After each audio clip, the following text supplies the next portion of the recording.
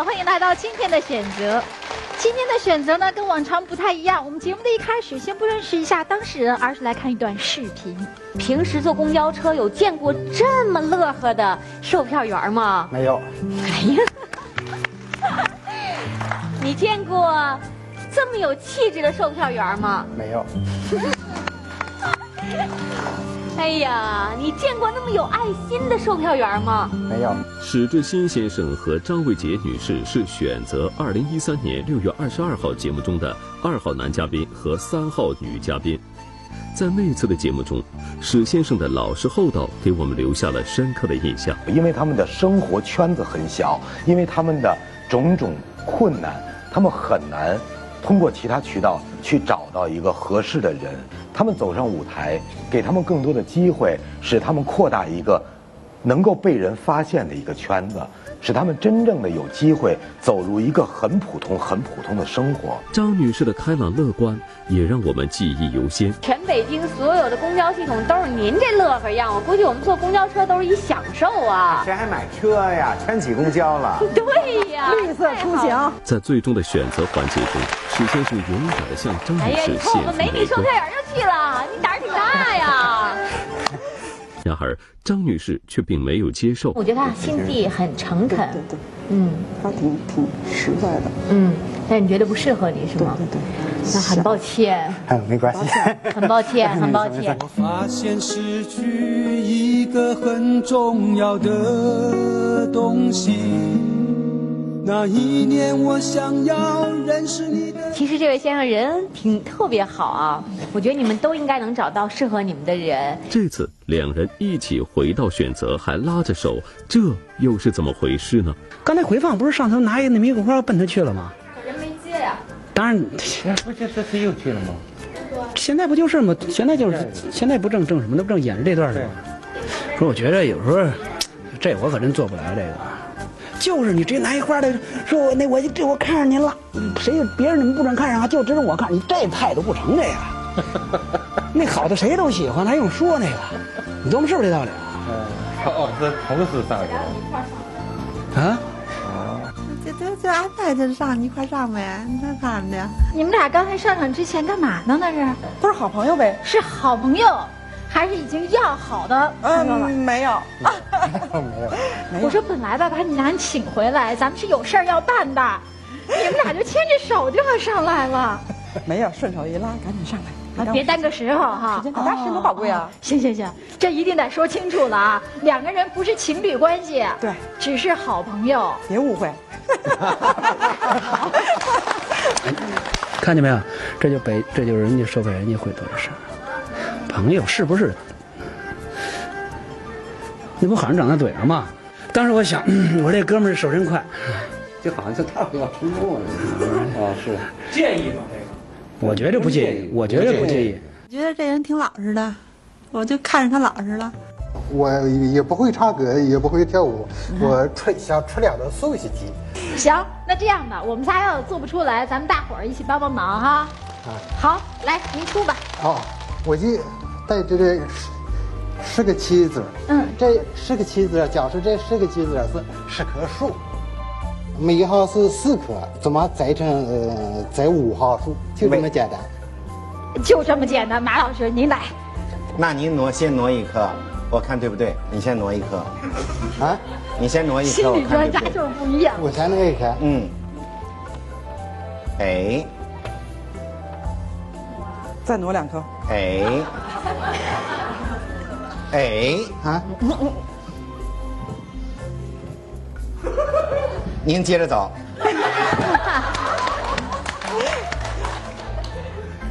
这不就出来了吗？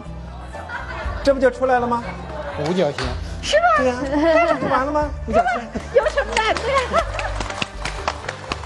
你说还用王老师出手？就我这智商就可以。呃，他可能知道。他喜欢那女生，可能喜欢对数学比较喜欢，会不会是这样？感觉售票员应当数学应当是很不错的，应当。我听说，自从您上了选择之后，您卖票的那辆公车就完全挤不上去了。嗯，差不多吧。反正，嗯，那边医院的大夫坐车，还有那边就是小区的那个朋友都说：“哎呀，那天看见你了，地球人都知道了。”呃，我母亲让我跟他来的，我我上那届啊，我想想是次，哎，你看，张伟都是奔他来。那那一定说起来都是。亲友团里边有同事是吧？是哪位？都是都是啊，一排全是这一排啊，全是都是你的亲友团。我的死党。哇，我说的还有没来的呢，要不然这三排都盛不下。一个团来助阵了，咱三位得接受一个团的考验。我我算是我算是败下阵来了。为什么刚才那人我说你下边几人？我说团肯定 肯定是不够啊。我现在跟他是一个车队的，他上选择那天正好我上班，我也不知道。对，从那以后呢，我接了 N 多个电话，都谁打的呀？我都不知道是谁，我也不好意思问人家。都说什么了呀？呃，找着张伟杰。我都是男的女的呀？有男的，有女的，有岁数大的，就是岁数大的，我指的是老年人、老太太什么的，就想给他相亲。哦，这么回事。然后后来出于无奈吧，因为我不能把人隐私告诉他们呀，我就后来实在没辙了，我说他歇年假了。你多耽搁你姐的幸福呀！因为我没征得我姐同意，我不敢说呀。我喜欢他稳重大方、孝顺父母，啊，尊老爱幼。您呢？我呀，我在想我怎么我怎么表达呢？在场上，两个人都已经感受到了上了选择之后生活的变化哈，也的确今天再次来到我们选择，也是因为看到你们节目的一些朋友表达出了极度喜欢你们俩的这种状态。那你看，咱先解决谁的问题啊？紧着我弟弟，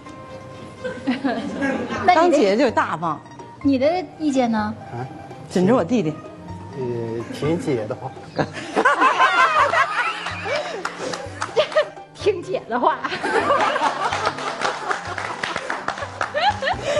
行，那如果这样的话，咱就先解决一下史先生的问题，好不好？那咱们待会儿再见。好，好吧。谢谢。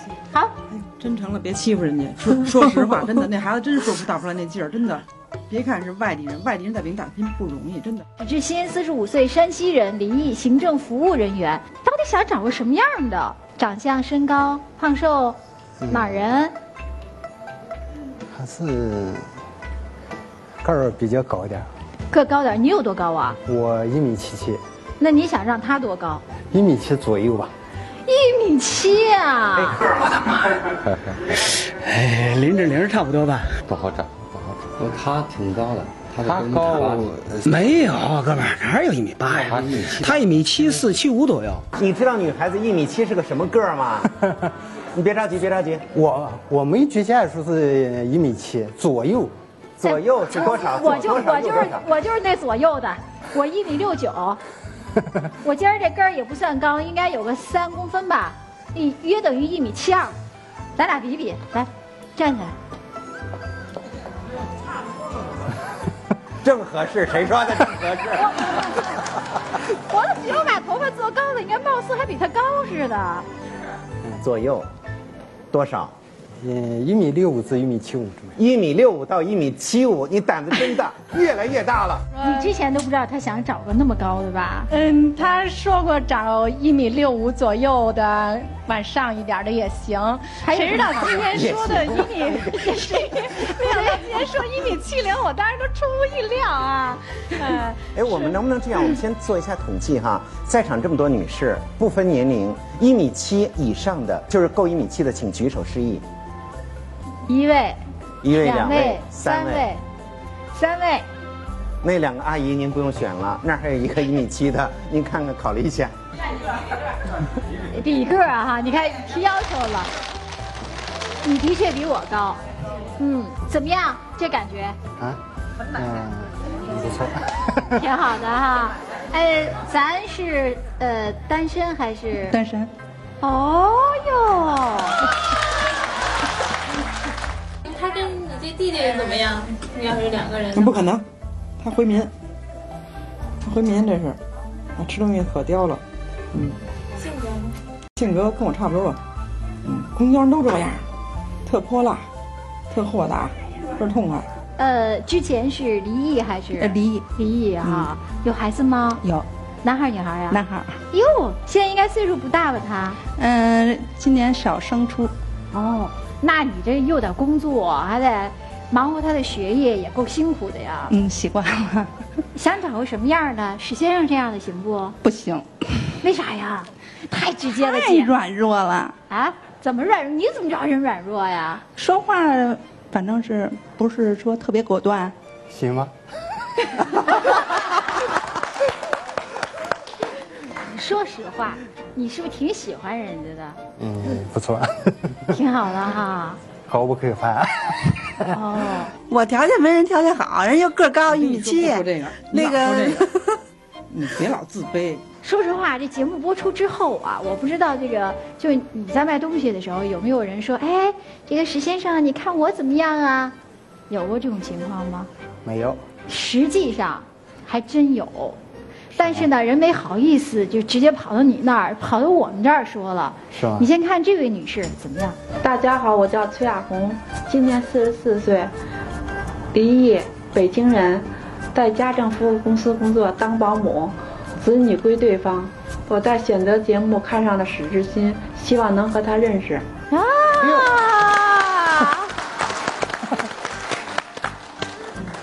你很吃惊啊！是。没想到人指名道姓说，我就喜欢史志新。我觉得，我觉得没人。哎，你看这没自信。你看，您看啊，刚才您提的条件，您就提了一个身高，对吧？嗯。如果对方的身高。比如说没有达到您的要求，啊，您怎么办？我我我那不是刚性条件。您刚才看到那位女士她的相貌，您觉得怎么样？第一印象第一印象，嗯，不错，挺不错的。嗯，对。听她说话是不是也挺温和的？嗯，对。如果要能走到一块儿，是不是觉得这小日子就更好了？嗯，应该是。他呢，就在这个帘子后边。我去接一下。接一下。好。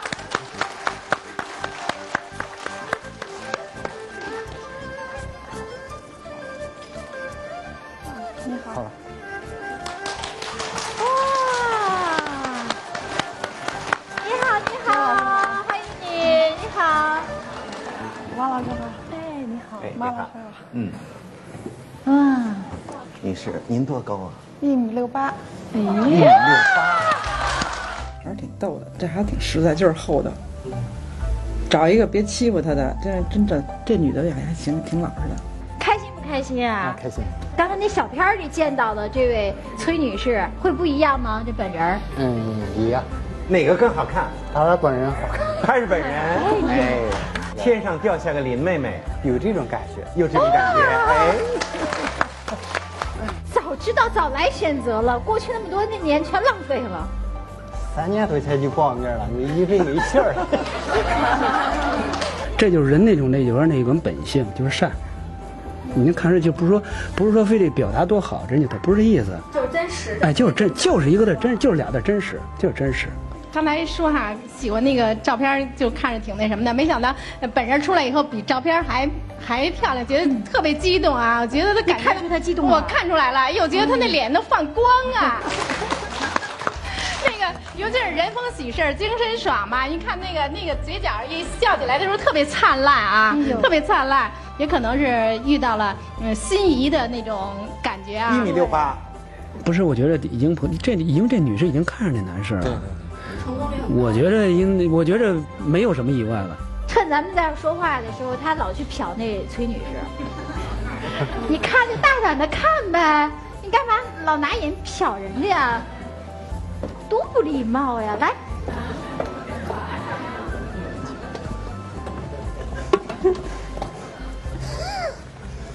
聊一聊，近一点。对。那也快了吧？怎么样？跟电视上有什么区别？跟电视上差不多，看着挺老实的。担不担心他太老实了？我们俩都太老实了，这都不爱说，都不爱说话。我们来看第二个片子。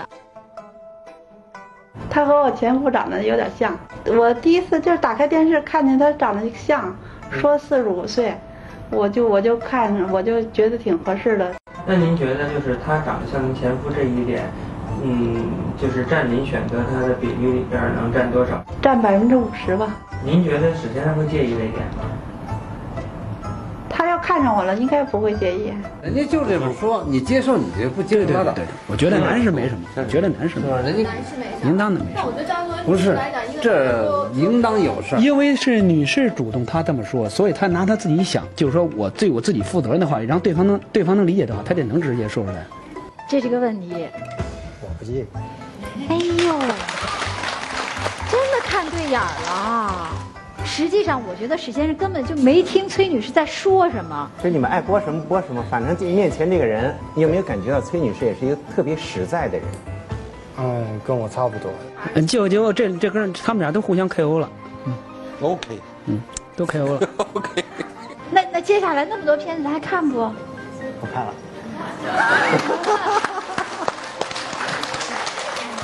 管他怎么回事儿呢？就就是他了。看人家什么意思？前面您看到了他，你接着看吧。还有两点要求，你看着和要能接受，咱们就处着再往深下来，往深了一下了解一下。好，来，咱们看下一条。优缺点，我的优点就是爱做家务，比较爱好干净。缺点是，嗯，不爱说不爱说话。你不爱说话呀？啊，不爱说话。平时很少，那跟人聊怎么办呀？也很少跟人聊天儿。怎么跟我一样？哎，哎，大家有没有感觉到史先生虽然说话少，但是一句是顶十句，哎，这很有意思哈。我也话少。那你既然我看你今天崔女士话可不少。我我表子能力差一点。那你说这怎么办？你们俩人平常都不爱说话，人家邻居来来回走，老以为这家没人呢。你得想想办法。那你能提高你的表达能力吗？你会哄人吗？你会逗人家乐吗？不高兴了回来，你怎么办？哭了，抹眼泪了。我没办法，你你教教我。我现在哄的话不用人去教，都会。你说我说说难说说点笑话，谁不是在爱中长大的？就用您自己的方式，这是最重要的。因为崔女士呢是奔您来的，就是您的那种老实厚道，是她欣赏的。您是什么样子就是什么样子，这最真实。像我这种油头，这这不能叫油头。差不多，油头粉面，像我这个滑舌，油腔滑调的，油腔滑调，您肯定也是学不来的。不高兴，肯定两口子是要交流的，哪怕话少。那个没关系，那个下次注意点就行。你说他他就这么说你了，我注意点什么呀？我在外头受气了，回来还还注意点我。不会哄人。行了，别说了，别拿那个了。您瞧，人家是一头的，您得大家着急管什么用啊？尤其那大姐，你站起来，你站起来，你站，人家站起来还是这样的。你总的就是哎，就是就是两句话的事儿，把他心的那种烦躁不安的就能给安慰到抚慰。反正挺逗的，嗯，他跟他挺挺挺挺挺般配，我看。我们必须要基于一个现实，就是史先生他也是少言少语的一个人。那么对他来讲，也许一个人待的时间比较久了，遇到女士的时候，真的不知道该怎么办。特别想问问崔大姐，其实整个这样的一个过程哈、她自己很紧张，然后呃马老师也教她了，然后包括后来她真的努了很大的力气，就这个过程，你对她的评价会有一些变化吗？没变化，超叔的太老实了。哎，你看，你看没有？人家女士说这话不老实吗？这种标准男人，他是不是踏实？就说这人就是踏实，就是这么回事。啊，身体挺好，身体健康是吧？憨厚。崔女士，您会哄他吗？比如说，他今天状态不好，他可能也有一些不愉快，甭管是什么原因，回家之后这脸夸嗒就下来了，您会哄他吗？我会哄的。哎，试一试怎么样？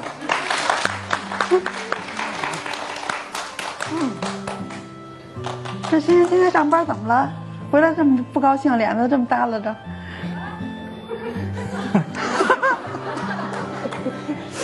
挨 领导批评了。挨 批了，是不是工作做的不太好啊？有什么事说说，在家里说出来，心里就痛快了。好。人家比我强。是吧？他是比你强，但生活当中人家也是想找一个能相扶到老的另一半儿。那不能他老扶着你，你得扶人家，对不对？我学着点儿，以后能变好吗？啊，那应该能。到他自己放得开那种哄，他可能比咱们比咱们说的还好，是吧？哎，我觉得可能是这样。哄人话哈，其实在下边的时候也能敢说出来。为什么到这台上以后就那么紧张？你是不是替他着急的都不真是我都出汗了，我在下边都出汗了，我恨不得我去上去去替他去说这句话去。这样，咱们来看看接下来崔女士的另外一片子。第一点就是我有子女，嗯，他们放放假的时候经常来看我，希望你嗯不要在意，嗯，第二个就是我离过两次婚，嗯，希望你嗯别往心里去，嗯，这如果这两点你能够接受的话，咱们可以深入的了解一下。在您心里，您觉得子女来看您，这是一个算是负担吗？他认为他没有孩子，如果他没有孩子，不希望子女来看，那那人家也有这权利呀、我我认为我怕他接受不了。嗯，哎，您怎么看他两次婚姻？您这两次婚姻，就是您觉得离过两次婚的就很不好吗？我觉得是，嗯，起码是对孩子不负责任，对家庭不负责任，给孩子带来不好的影响。主要是那时候我太自私了，光信光顾了自己，赌气了，就离了婚了，这给孩子没有一个完整的家。人家都有父母在一起，我们就那么那么小就把孩子扔下了。第一个儿子已经大了，嗯，上大专了，他他就是放假来看看我，也没也也没什么过多的要求。第二个女儿已经也也上五年级了，我我女儿说了，是说我要找让我找一个对我好的，听我的，听我话的。来，石先生有什么想问的，可以了解一下。啊，你是两个孩子啊，对，两个孩子，啊离过两次婚，啊啊，这个你能接受吗？哎，这能接受。嗯，心里不别扭。这不是什么权利，这是就是，嗯，母子关系就是，甭管在什么情况下，也不可能断了。你有孩子吗？嗯，我没有。哦，没有孩子啊。上一次婚姻当中没有哈。嗯，有一个孩子就在一起那个医疗事故，有，有，嗯，嗯，那这好可惜啊。那小男孩儿在孩子的问题上，你还在考虑吗？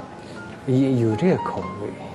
哦，如果可能的话，可以再要一个，是吧？嗯，对，嗯因为我们家就我一个男孩儿，嗯 有这想法。嗯，那可就不行了，我不想要孩子了。对孩子可能不太考虑了。对，就倒给对方造成压力了。然后我看上你了，你说 现在给我出难题儿，所以这个问题，我觉得要有要要要有一个搁浅的概念，我觉得。但他这也不是一个刚性的要求，是吧？嗯，对。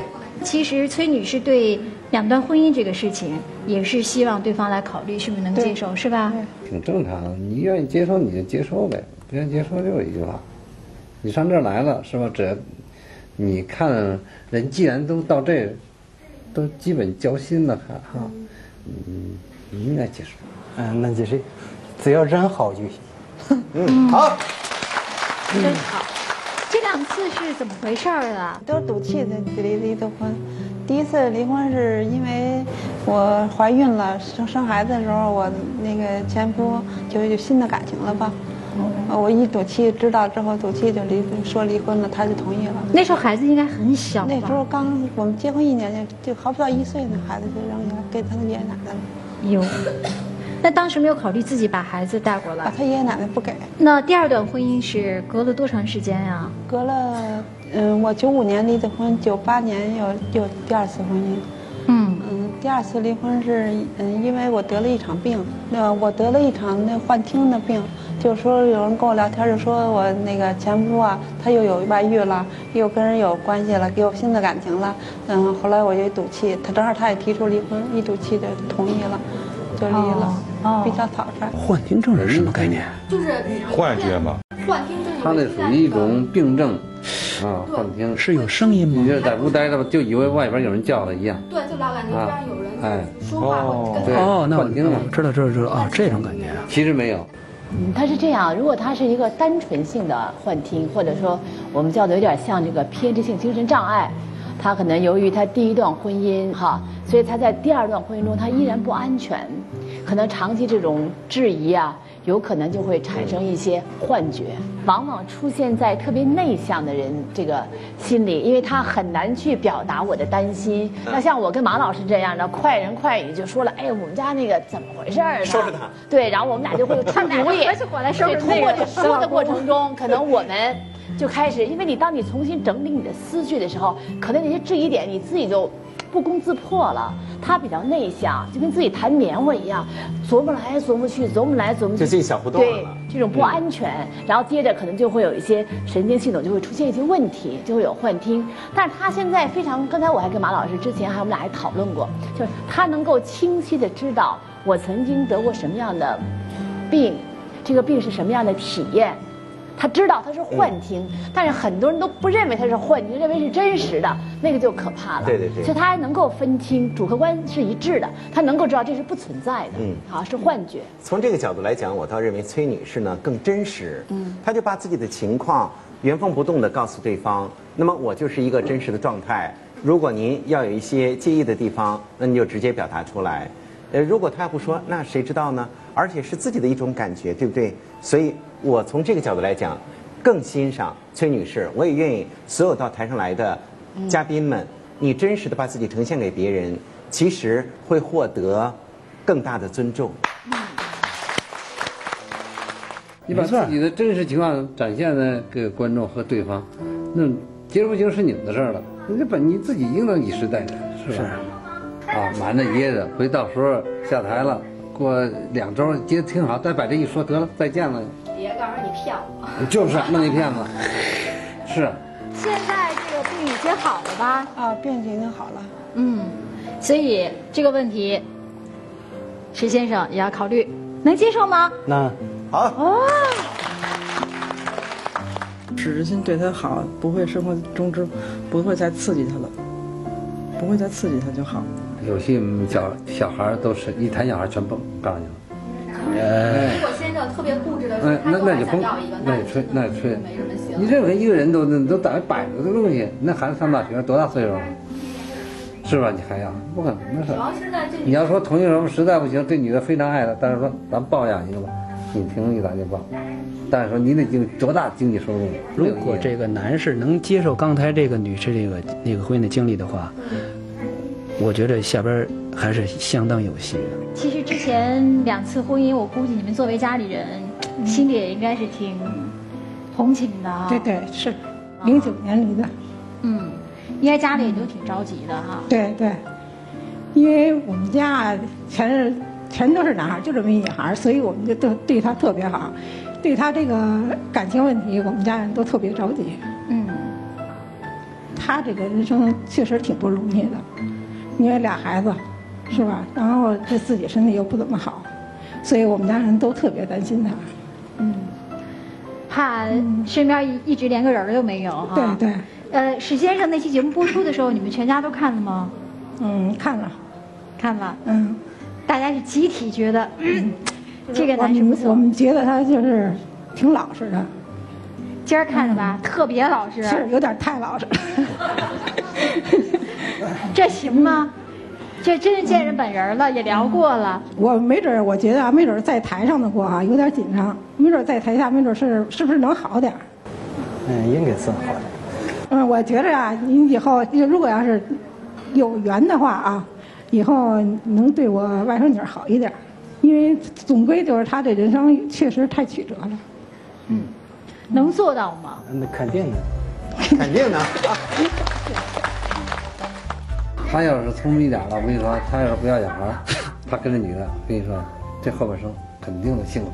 我也就一个人，我不对人家好，你对谁好？好。对，我这点爱心只能对他使了，是这意思吧？啊，对，主要是说那个人比较实在一点，是这是嗯最主要的。老母亲今天没来是吧？我听说老母亲对你这事儿是很上心呢。嗯母亲今年高寿啊？六十五了。咱们跟老母亲打个电话吧。让我妈放心呗，打呗。哇打看接不接？因为家里有点事儿，正在装修。把消息树推倒了。同时，这个呢，可能也会给这位男士一点压力，也要让你能够知道这个女士对你的想法，也让你能够开始真的要去思考，我是否接受这段情感。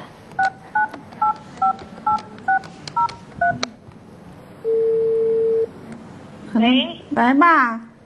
哎，那个我在这我在播节目呢，我刚才去和那个史志新见面了，嗯，我跟他说了，他呃把情况跟他说了，说有病，孩子的问题，还有离两次婚的问题，我都跟他讲了，他都不介意，我觉得还行，接触一下，您的意思呢？哎，你要接着接触吧，反正也是接着一段时间是吧？啊，对，要了解了解。嗯，老人家你好阿，姨你好，哎，你好，我是马健。我是小叶。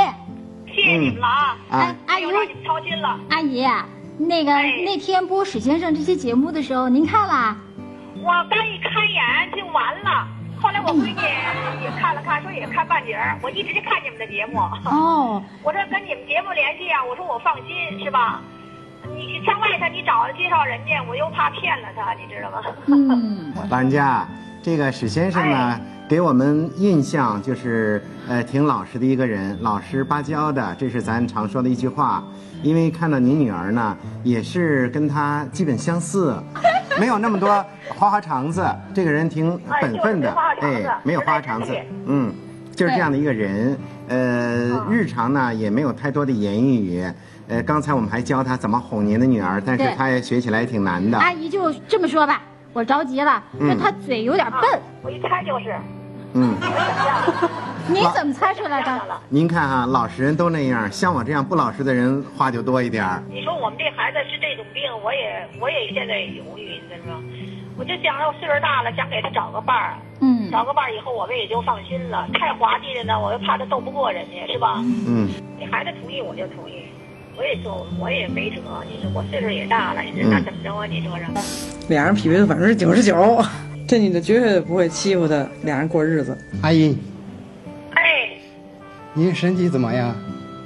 啊，我身体还可以。你好哈。啊，我见着你女儿挺高兴的，我我觉得我们俩挺合适的。阿姨，老人家听到了吗？听见了哈。呃，史先生刚才说的也挺真诚的，他其实话挺少，但是刚才这句话他真的是说出来不容易。啊，老实巴交的一个人，所以呢，就在语言方面不要有其他的一些要求，就是慢慢来吧。另外一个，他在场上呢，可能还会有紧张，如果在台下，也许话会更多一些。您父亲，看他这老实巴交的还可以，他总觉得这个工作长长期的了吗？你说是以后他们生活怎么办呀？他那工作要没有了怎么办呀？我这公司比较长期，就担心这个。我们是那个物业公司的，呃，就是每天就都是那么样，那个我不会失业了的。不会失业的。不会失业的，您放心。我我一定会对你女儿好的。哦。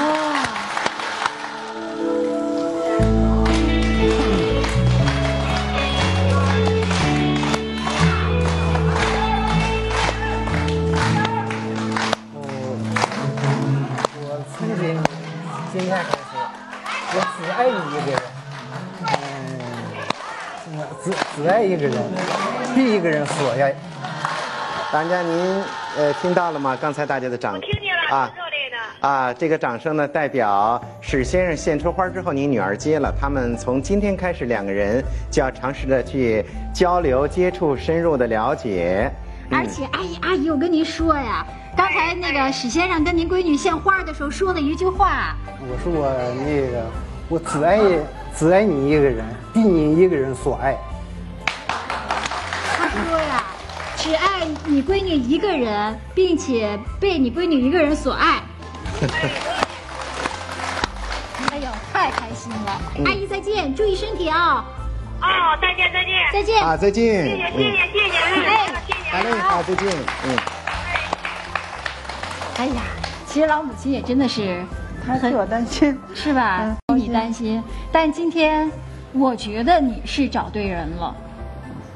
其实有一点点小小的这种老实、小小的木讷，你会想，就像他说的，就这点爱就只会对你了。其实咱们到这个岁数要的不就是一份安心踏实的生活，对吧？好，玫瑰花也献上了，您的幸福也找到了，接下来咱是为了照顾照顾咱姐呀。呃，对对对对对，姐你好，我找到幸福了，嗯，接下来你也一定能给找到幸福。加油！我祝福你弟弟。对呀、那个张伟杰呢？听得到吗？听到了耶，听到了。听到了。你跟他他他跟你说的话，听着开心吧？激动吧？祝福我弟弟，谢谢。加油！好，有姐姐的祝福，有我们全场人的祝福，嗯真的是希望你们俩人会有好消息传过来。好这玫瑰花只是一个开始，是希望下次来，咱带着结婚证，拿着喜糖，啊第一件事儿先通过丈母娘那关。好，啊啊！好，来，两人牵上手。哎，牵手，好。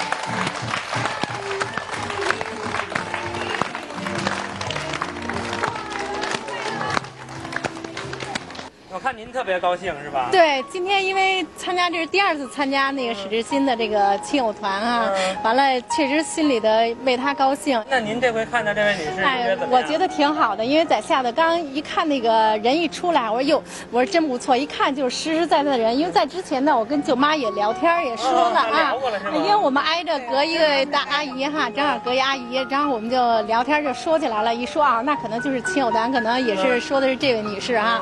完了，一聊这个情况，我说挺相配的，呃，比较。比较那什么，说实在的，为什么说找到这个那个选择这节目栏目呢？哈，因为比较放心。你要外边介绍的，有的你真是不知不了解，不了解这个情况，在这儿最起码咱有个放心度。看到他们俩真的那个牵手了哈，呃，我替他高兴，也替他们二位呢，呃，衷心的祝福吧，是吧？希望对舅妈有什么想说的？哎 我也没什么好说的，我就因为我对这个男士满意吗？嗯还行吧，我看他这人挺老实的，嗯嗯也也挺踏实的，嗯，我觉得以后应该改改，别太老实了，该说的时候就得说，你就就像在刚才在场上让你哄他，你该怎么说你就得说，因为你咱就说啊，以后你俩得过，要真生气了，你一句话不说，到时候他也着急，是吧？啊，到时候你就说以后就说看你俩吧，如果要是能真能成了呀，嗯、怎么怎么说呀？你对他好点，我也没别的要求，是吧？您觉得舅妈刚才说这点存在吗？啊生气吗？不生气，是吧？要是万一他他话跟不上的话，您您着急吗？着急归着急，就是那什么吧，互相互对对互相了解，互相互相包容。对，互相包容是对，吧互？相包容。那个刚才舅妈跟你也也说提的要求了，能改不？嗯、能改。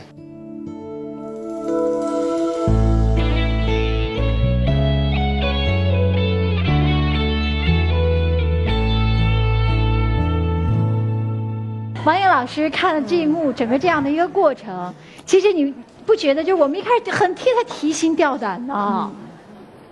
其实我是觉得我对他那个妈妈其实很感动，让我感动，就是特别实在，啊，因为我们常年和有这样的心理问题的人接触，嗯，他们自己真的是很难能够说主动的走向新的生活，一定是家人的鼓励和全家人的爱。所以今天呢，其实我还是挺感动的。我觉得找到这样一个老实巴交的、特别真诚的男人，哈、他的这种将来的这种呵护，对他日后的康复，好，日后能够真正的过一种平静的生活，是一个特别好的保障。所以我真诚的祝福他们。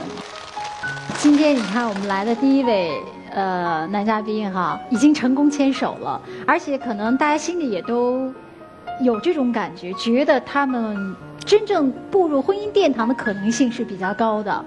那接下来就是刚才我们说的张伟杰了，咱们掌声把张伟杰再次请上我们节目现场。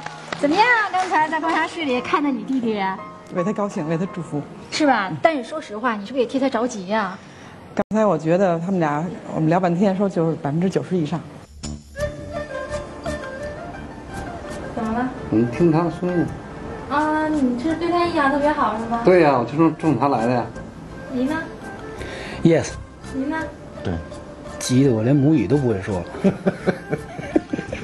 我们观察室的一二三号男嘉宾，一号先生，哎，你好。你好，呃，张伟杰已经坐在我的对面了，怎么样啊？我们这北京大妞，是，真是挺好，挺挺阳光的，我就冲他来的。哦，二号，二号先生，这、哎，你好。我觉着一号先生好像真是挺喜欢我们这张大姐的啊，啊，你看出来了吗？看出来了，我不，我觉着场上见吧。什么意思？场上见。对呀、我觉得张小杰应当，他最后能有他的选择，我很有信心。啊？你的意思是说你也是冲他来的？当然了。哦，三号，三号，哎，主持人好。咱不跟他们竞争啊！哎，我也是冲冲着张伟杰来的。啊！我爱我还本来想劝劝三号放弃算了，那你的意思你你绝不放弃？对，和平竞争。而观察室里有三位男嘉宾，正是为他而来，为了爱情的竞争一触即发。我是一号男嘉宾的二儿子，好像是棒队之前嘛，然后看咱这选择节目，然后告诉我来来来过来过来，我其实在我那屋正玩电脑呢，我说嘛呀什么事儿？然后告诉说，我看上一个阿姨，你过来帮我看，我刚过去看，咱也是演广告。然后就没看着，我说就拉倒呗，我接着回屋了。然后大伙过来说过来看过来看，我说谁呀、说这个阿姨怎么样？我说不挺好吗？我说你看上了？我说是这意思。我说随你便，你愿意就行。后来我就没搭理他。后来过两天，好像是隔了两天还是三天啊，给我打电话，那个喂儿子，我其实我当时正出来，我这也是在忙着上班呢。后来我说妈呀？啊，那个我上选择了。我说大哥你别闹了行吗？叫谁呢？叫谁呢？有点礼貌行不？扯皮了。然后他说：“我说真假的呀？”然后说：“真的，真的，真的。”我说：“你别蒙我啊！”我说：“不不不不蒙你。”我说：“那行吧。”他说：“那你愿意上就上吧。”那就这样，然后就冲着这个阿姨就来了，是吧？冲着阿姨来了。哎，你现在可比你爸有了优先权，你先见到他了，他现在还透过那个小屏幕在看呢，没见着本人儿。你跟你爸隔空喊话一下，你先见到的本人，觉得怎么样？呃，他能听着吗？听得到。老爸，我只能说一句话，你的选择没错。谢谢谢谢。二号这位阿姨，这二号厉害啊！因为我在那个电视屏幕上看到了，我儿子因为他干这工作时间有限，嗯我把这个信息啊告诉我儿子了。我特喜欢这位女士，怎么回事？心地善良，落落大方，哦哎，特有爱心。因为我们家就是这样的传统。我儿子呢，就是甭瞅离婚了吧，离异了，老师一直是爱情专一，比较传统的一个孩子。哦，所以这次呢，还真得说是很艰难的走出这一步。哦，他他本来还不太不是，他一直的就是说，呃还没为什么说太传统了嘛？这孩子哦，这孩子太传统了。是觉得我啊，没有任何负担也，我们父母也就是说都不用他去什么，都有退休的，然后他儿子归你帮，没有任何的负担。这婆媳关系也好处啊，对吧？因为婆婆先特喜欢你的啊，先那个相中了，希望你能相中我儿子。哎呦，你们有压力吧？压力很大，我感觉。先介绍一下，你们跟三号什么关系啊？同事。同事啊，你是我们都是同事都是同事哦。那这么说，要不你们就直接劝劝三号放弃算了。就我所知，不可能。我们这个同事也挺坚决的。很坚决，对对对。所以他不这个可能放弃是吗他这个性格，呃，也很坚决。我感觉哦，他不可能放弃。那你们那个有什么优点呢？我们啊，我们当过兵，做技术人员的，也感觉是比较踏实。我感觉跟我们这种人接触也还是踏实的。嗯，不让谁？呃，哎，这是我觉得这样才好，这样才好。把自己心里话说出来，干嘛来了？这样说到时候说认输就走了，那你上来干嘛来了？是吧？就是说自己有自己的，嗯，这这想法，自己对自己择偶的标准。哎，哎，我想问问，你现在是压力很大呢，还是很开心？有压力，对你来说是很有压力哈。有压力。其实上过选择之后，我知道你的生活是发生了很多的变化哈。嗯，对。其实还有一个变化，有人打电话到我们栏目组，但不是男的，也不是想给你介绍男朋友。嗯。咱们通一个电话来了解一下到底是怎么回事儿，好不好？好的。来。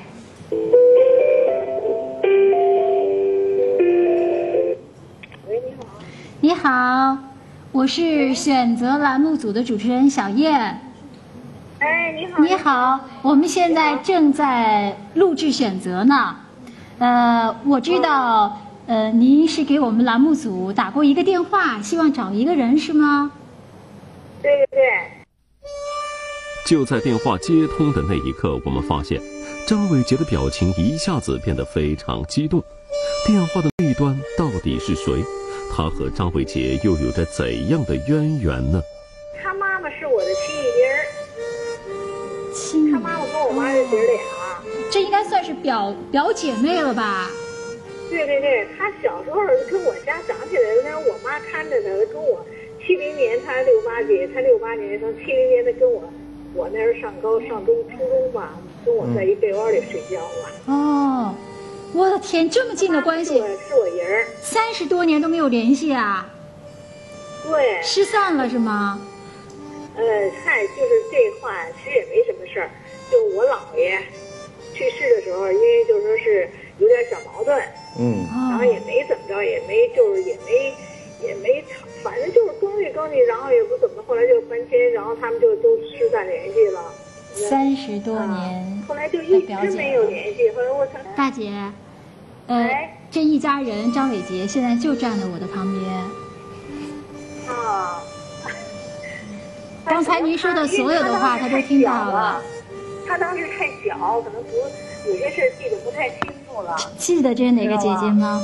喂喂喂，是二姐吗？喂，是二姐吗？是二姐吗？对呀。我小六。姐姐。我在，我小时候在。姐。你妈在吗？在呢。我想你，我想我妈我爸。姐姐，姐 我就想我妈我爸。姐姐，我跟你讲啊，五个姐姐都特想你。我知道，我怕你不认我。五个姐姐都一直想你。知道，怕你不认我，我不敢去。对，我不用，我们一直念叨你，知道吧？其实上一辈儿有一些小的矛盾，可能大家都认为自己怎么怎么样之类的，才能造成这么长时间。对对对。姐呀。您等会儿，我让张伟杰给我擦一下眼泪啊。我看那边老人家是您的老母亲是吗？嗯。呃，姐啊，今天呃伟杰的妈妈也在节目的现场呢。啊。要不要跟他说两句啊？可以呀，我特想我人，因为我人最疼我。是吧？知道吧？来。马老师，好。我是他二外甥，他最最疼我了，你知道吗？妈，别太激动，妈。妈，别太激动啊！阿姨啊，来，你我我拿着，我拿着。那我二姐，你说就行了。淑珍。哎，爷。宝贝儿哎，我想死你了。爷，我也特想你呀。我怕你们不认我。这都什么时候的事你可真是。我不敢认你们了。听那话。宝贝儿。你妹妹一直想找你们去，她没不忘记她是小六。你这伟杰呀，一直就是当小六，他没说过别的，老认为他是小六。嗯，他就想要你妈和你爸爸的相片，他想他们，老为了这个想起就跟我跟前哭。我们哎呀，你放心。嗯，他想他要你妈给你爸爸的相片。我一定去看你去。好，太好了。这通过这特殊节目啊。他联系的，哎，比较浓厚一点，亲情拉近一点。今天呢，伟杰来相亲，你知道吗？啊，对。有三位男士对他印象都特别好，竞争的可激烈了。你跟伟，你跟他转达一下啊，你跟他听得到，你直接跟他说。合适的就让他去，把人把我人交给我，我来我来管啊。妈有我呢，是是是是，妈有我呢，你甭管。伟杰。嗯。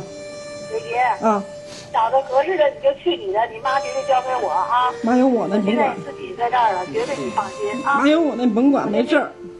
我我就自己做呢，你妈交给我绝对没问题啊。嗯，你看，嗯啊，嗯，你看看，真是。哎，我知道。姐给出智慧啊！我到时候跟节目，我跟节目组要，好吗？啊，好嘞，你放心，姐，好吗？我没想到上你们这节目还能就找着我外甥女儿，我找了多少年找不着，是吧？他们家的地址我想不起来了，因为也变化太多，找不到了。嗯，我闺女老老老想找他们，她说我找我五个姐姐，她是小六，嗯，因为她我姐姐看着她来所，以所以她这个排行小六就，你们多费心了。那接下来您得好好给把关啊，哎，你们别也多帮伤心了。参考参考。哎，好这么多他这么多姐们儿、哥们儿都来了，这都他的好姐们儿。是，主要还是您的意见嘛，对不对？好，来您请坐啊。让您高兴点啊。还没转过神儿来呢，从那从那里边还没走出来呢，也许。刚才为什么一直在听你说说我爸我妈？我们小时候，我们我们六个管她叫姨儿，这这是你亲生妈妈对这是吧我？亲妈。哦，但你就随着那五个姐姐一起叫自己的妈叫姨儿。对，那是我妈，也是我爸。小时候，我爸拿了一个猪尾巴，一一推推开门，要是嗯吃猪尾巴摇头，吃猪尾巴摇头就逗我，特别疼我。我童年挺幸福的。你是在他们身边长大的是吧？对我这五五个姐姐背着我抱着我，呵护着我。是。嗯。可是三十多年都没有联系哦。遗憾。但是今天不是好事儿吗？嗯。找到了呀，是吧？找到了。我五个姐特别疼我。刚才我也是特别感动，感动在于就是我们那个父辈常常这个特别普遍，他们特别特别的那个倔。其实刚才也是，他那二姐可能你跟他说的话，哈，可能所有的人的内心为什么都会痛苦？可能很很多人都流泪，就是我们内心都有这种东西存在，哈，往往都有些遗憾。所以说，活着的人不能让这个遗憾继续。嗯。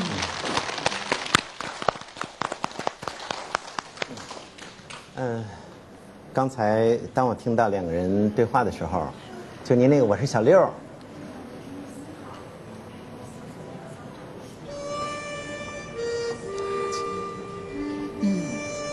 马老师今天其实一句话哈，就把过去很多的故事，包含了很多的内容，都包含在里边了。落泪的人一般来讲呢，就是呃情感可能会显得更丰富一些，因为三十年不见，通过一个电视栏目看到了他的名字，想到他三十年前的形象，然后就开始苦苦的去追，去联系，双方都在寻找对方。其实那种情感一直都没有断，但是多种因素，可能搬迁，或者说呃结婚等等等等一系列的事情，导致大家呢心中总是有一份牵挂，但这个牵挂就迟迟没有落地。我想选择，我们可以增加它的内容，一个是我们在选择自己的伴侣，另外一个呢，今天这样的一个片段，选择我们的生活。老人该他们的生活方式也许跟年轻人不同，我们千万要保持家族的这样一种联系。刚才王源老师谈到的血浓于水，其实所有人都会有这样的一种感触。尤其现在，可能家里面因为一些所谓的不公，不仅不一定是您家庭，有的家庭，因为我们还有别的栏目嘛，可能因为祖上的一些东西出现了不公平，于是下面子女谁都不来往了。其实难道不牵挂吗？大家在一起成长，原来是没有问题的，现在就因为那么一丁点儿事儿，或者那个事情再大一点儿，那我们不是依然可以生活的很好吗？所以我想给电视机前的朋友提示一点：保持联络，好好联系，好好生活。嗯，咱下了节目就带着你挑的那个男朋友，嗯，咱们一起去看看姐姐，行，多好啊，是吧？接下来就好好的来选择自己的另一半，好的不好？调整一下情绪，来。这三位男士，包括他们的亲友团，都表达了对你的这样的一个好感。那咱们一个个见一见，先看看刚才那个他的二儿子作为亲友团的一号男嘉宾，来。大家好，我叫林少先，北京人，今年五十五岁，是事业单位职工。我经常看选择栏目，在栏目中，我看中一位女士，叫张伟杰，她孝顺父母，尊老爱幼，稳重大方，有责任心，是很阳光的女人。她是七十七路公交售票员，我去了三次，她都在忙。所以我来到了选择，就想跟她好好聊聊。你们俩见过？我没理他。不是，因为我在工作。可人去了三回呀。那不行，到时候扣钱呀。那万一这人特别适合你呢？你把他就赶跑了，把他的幸福赶跑了，多可惜啊！你们跟他留个电话什么的？我不会去那么早去。冒昧，那就叫冒昧，不尊重人家。首先知道这就得要要要要有这种度。多能表达人家先生那么喜欢的那种？我不这样认为，这样做事有度，因为你不认识，我们是成年人，又不是小青年，这冲动。但话说回来，是不是你不太喜欢他那样啊？那头发不像好好过日子的人。太时髦了，还行吧。我那我我那朋友也有过之而无不及，比他。您瞧那边，那边烫的更花是吧？啊，那是自来卷儿。你说吧，他们都一直以为你这自来卷实际上就是烫的，是吧？我这个，我这是父母赐给的。那你你那会儿有没有人觉得哟，这男的这一头卷当时找媳妇儿特难找？不不不不，他们都喜欢我这头发。真的说，他们说我这省钱啊，省钱不用烫，是关键。您要拉直特费钱。再说，有几个男的烫头发，人不会把你当不良青年呐。呃，我自己挺喜欢这卷毛。音乐家这是是吧？真的真的，心地善良。嗯。疼女士。哦。有责任心。哎呦，就一个卷发有这么多优点。那当然了。别太能夸自己了。更主要的顾家。阿姨，你看，人光说一卷发，这这个好男人的几个优点都有了。咱儿子是什么发型？我儿子可以算是平头。平头。对。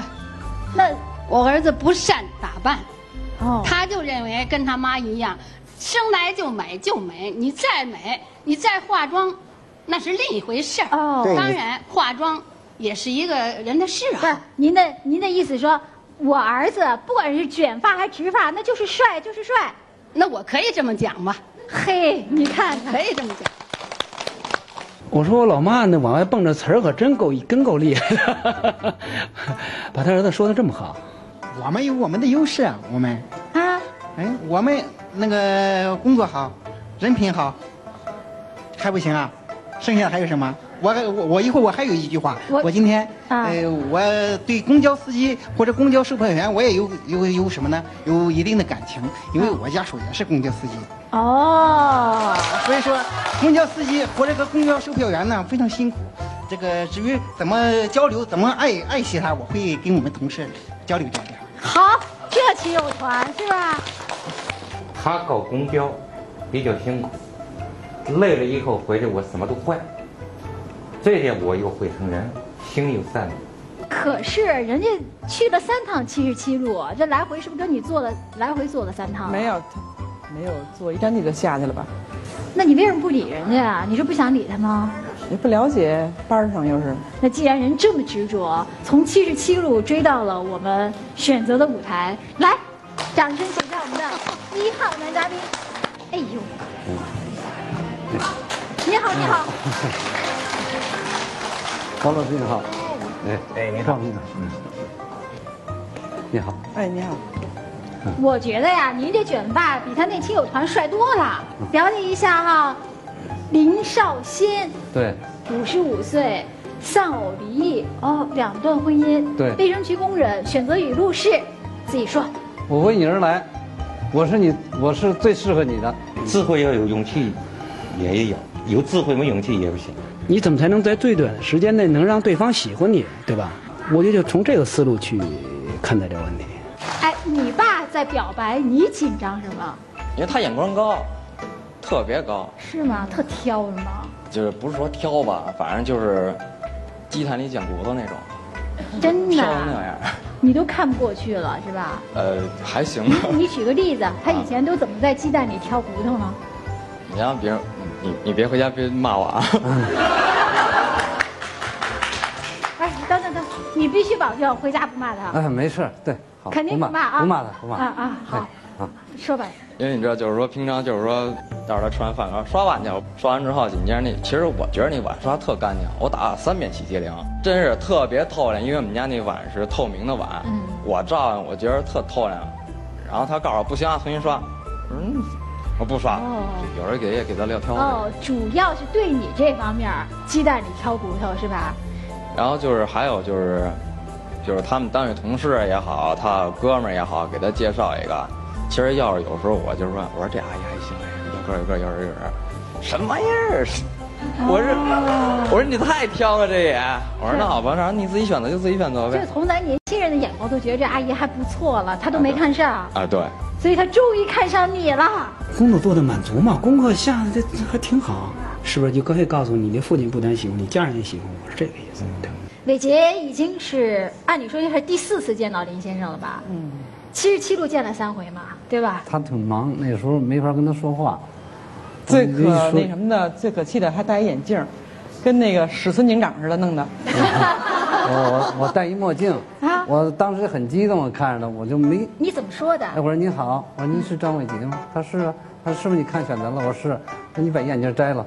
哎，我说对不起对不起，我们很没礼貌那样戴了。我当时没注意，赶紧戴了。我说，我就跟也就是说两句话，他说挺忙，我看挺忙，没敢打搅他。嗯他也知道我来意。这第一次啊第二次怎么又去了？你第二知道人忙，你为什么还去啊？那不行，我看中了，啊，看中了，第二确实看中了第。二次他怎么拒绝你呢？第二次他没拒绝，说嗯你好，他知道他因为第二次他说你好，那你你先坐旁边，我先把工作我说好，我说那什么嗯你忙吧，我说我刚坐两单，我说我该下车了，我说你忙你的，我说你看你不方便什么时候方便，我咱再、嗯再再来我再看你。所以第三次去呢？第三次去，他怎么说的还是这样，还是丧不打眼的走吧。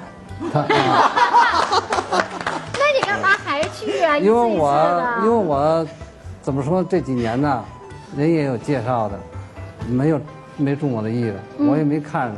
我这一在那选择里看的节目啊，哎呦，心里怦然一动。我说得了，必须的这个，我追，我就是说按我自己那种理想，嗯怎么说理想？我有一线希望，去去就去做无限努力去追求的。呃听他那么说像是这样，只是人家在工作的时间不适合做自己私人的事情，是这样。那是。那在我理解吧，都三回了，嗯。他是不是就拒绝你的意思了？拒绝我是他的拒绝，但是我没有没有嗯没有说丧失对对他那种追求，我绝对往死追求。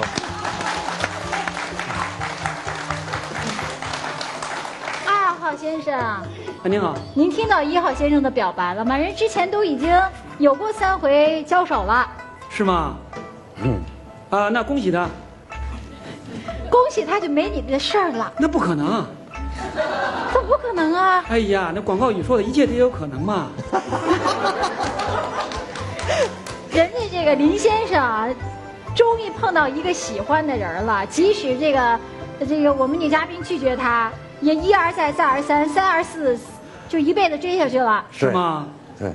那要比耐力的话，那我可能可能会更好。哎呦你说怎么碰上这么一对手啊？嗯，没事儿，这叫和平竞争嘛。那个啊林先生，我想问一个问题哈，您看刚才您在观察室的时候啊，我们整个这这这帮人哭得稀里哗啦的。刚才您三位谁落泪落的最多？我心里在流泪，是我相信这种事，这种事情，尤其像这年龄过来的，特别是呢，他哭，我不是问了好几次，他哭了，你这看听你的热是非常非常非常感人的。你要说哭嘛，我觉得可能还还差一些，至少眼角微微湿润是有的。对对对对。我知道以后就是他选择了我，不是我倒是看中他也选择了我他选择了我，我知道我怎么去疼他，我怎么去爱他。哎呦，啊，把我自己的行动和我自己的语录和我自己的思想跟他后半生兑现。您还有语录呢？嗯，啥语录就我心里的语录吧。说说听听呗。啊，我的语录就是说，我对他负责任，我怎么疼他，我怎么让他在后半生把前边的一切都忘掉，然后怎么在幸福快乐当中生活。英雄所见略同啊！来，咱再看看林先生，还有什么想说的？张伟杰，你在我心目当中虽然时间不长，但已扎根了。我非常非常的，现在说爱你吧有点早，但是我非常非常喜欢你。这次到接这个呃选择栏目呢，我是就奔你来的，我也不多说了，嗯，就看你对我的看法和想法。嗯，你听听，就是你，就是你，就是你，对太给力了，林先生。我跟你讲，就拿出您这种精神来，没有找不到媳妇儿的。嗯，我现在很看好您，公平竞争吧，是吧嗯？哎，话说回来，你喜欢伟杰哪个点儿啊？喜欢他端庄大方，对家庭负责任，对工作认真，嗯，挺认真的。在工作当中你去。三回，他都不理你。嗯，但是对我是是这样，对别人特别特别好。他一给我提说，一，把眼镜摘了，我觉得很羞愧。我觉得我这么大人那，我一着急一激动啊，没摘眼镜，我觉得说很不礼貌，嗯我很歉意。当着今天我说对不起。哎呦，这点小事儿，实际说，你追求人家是一件美好的事情，人家能接受你的美好，那也是你更更大的美好，是你自己家庭的美好，是这个意思。亲友团意见不大一致，呃，很多人会被林先生刚才那一番语言所打动。您看到我说这个说这些话的时候，一米七大姐就先点头，是不是这样的状态？就是他这种真诚是值得赞美的。嗯但我就不明白为什么那边就是有这样的人人。哎，对，就是那。我不是那个意思，不是一号先生不好，我是真的想让伟杰再认真的考虑下一个，然后做一个比较，嗯，但要比来比去，还是一号最好，怎么办？那就选择一号了。哦，我们想问一下林先生，如果您的性格什么的，您能为我这个啊、妹妹能改变吗？能哪一点啊？像您那个刚才说的，有点什么洁癖啊什么的，那那，因为我这个妹妹呢有点大大咧咧的人，所以呢，您如果说能包容她，不可以？能那，因为洁癖是一个卫生的一个对我知道是爱干但净但是说这方面呢，嗯，我注意些，爱他，那时候我一切都包容他。对，你也包容他，真正的爱他 老实交代，是不是这么说的？姐妹们真为你负责任呐。嗯，他们的关心是好，但是说他通过我的行为，让他告诉他们放心，我比我说的还要做的做的比说的要好。嗯，所以啊，来来，我们看看林先生下边要说什么了。我是一个家庭型的男人，我不是事业型的男人。怎么讲家庭型？家庭就是对家的一切事我都都负责任。我的优点就是这个，对工作负责任，对家庭负责任，对父母孝顺，啊，就是没有三心二意。您觉得您最大的缺点是什么？最大缺点心眼软，就是说，嗯，不愿意说把事情弄得僵化，都软软一下，什么都要软一下。嗯、同事也好啊，还是家里也好啊，可是这一软吧，就是在单位啊，说弄一好人缘，在家里嗯产生很多的不良的后果。嗯、比如说说，比如说，你看我我现在这个婚姻已经离异了，也是我软的一面。好，既然说到了婚姻的事情哈，有两次是吗？对，因为第一次吧，这个结婚是妻子有病，呃孩子两周半就没妈了。那个在病重当中呢，反正可想而知，我自己我做一个丈夫应该做都做到了。作为一个前妻，那个前妻的这个呃岳父岳母对我的，还有小舅子、小小妹妹对我的对他姐的爱都是认可的，啊，亲戚朋友都认可的，单位也都认可。那第二次婚姻呢，就是两个孩子两四岁呢左右呢，我又结结第二次婚，结第二次婚，婚后呢二年又有这孩子，这期间呢就是家庭从各方面都不是那么忒富裕啊，都各方面去各方面哪家过日子没有点事儿啊？反正压得我这这么多年实在是嗯，喘不过气来了。那你们俩为什么分的呀？嗯、感情不好，老爸老妈离婚那会儿你多大？我十八岁生日刚过仨月，哦，有没有对他们俩有点意见？啊、就是恨，恨的是就是我妈不要了，嗯，然后还有就是，那不是那个阿姨，您别不爱听啊，就是因为跟我妈离婚之后，我爸就是。就跟属于蟑螂，知道你知道吗？就是雌雄同体，哎，又当妈又当爹，就这样照顾我跟我哥，就这样。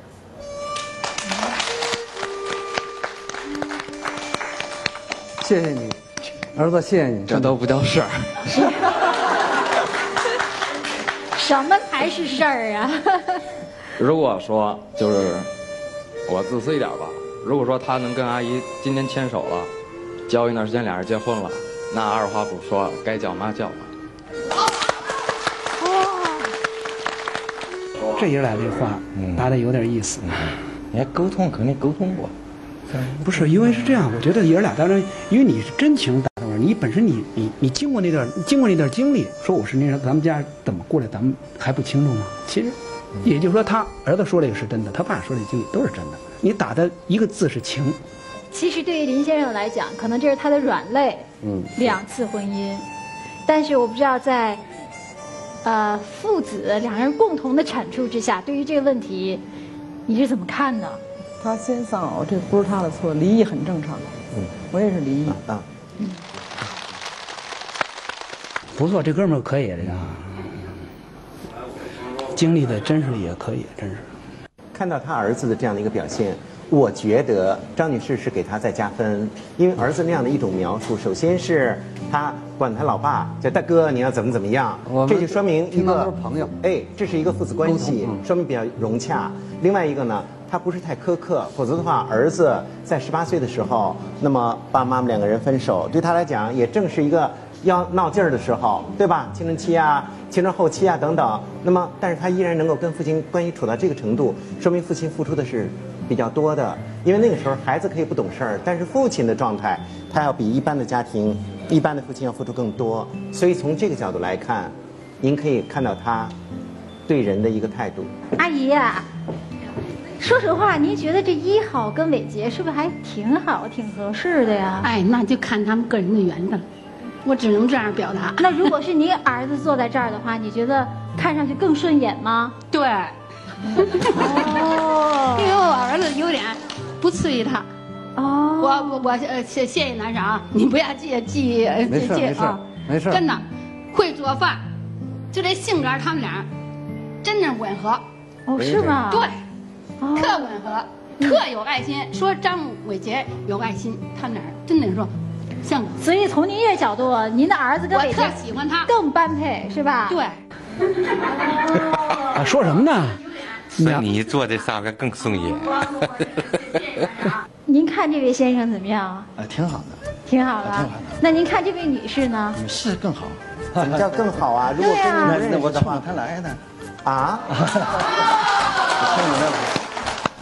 阿姨，阿姨又出来一竞争对手。我可以再说一句，张伟杰女士，你放心，你有呃母亲不是吗？我不知道你还有没有父亲健在？父母都在啊，父母都在，你放心，保证跟你跟他孝顺他自个儿的亲生父母一模一样，绝对没有二话。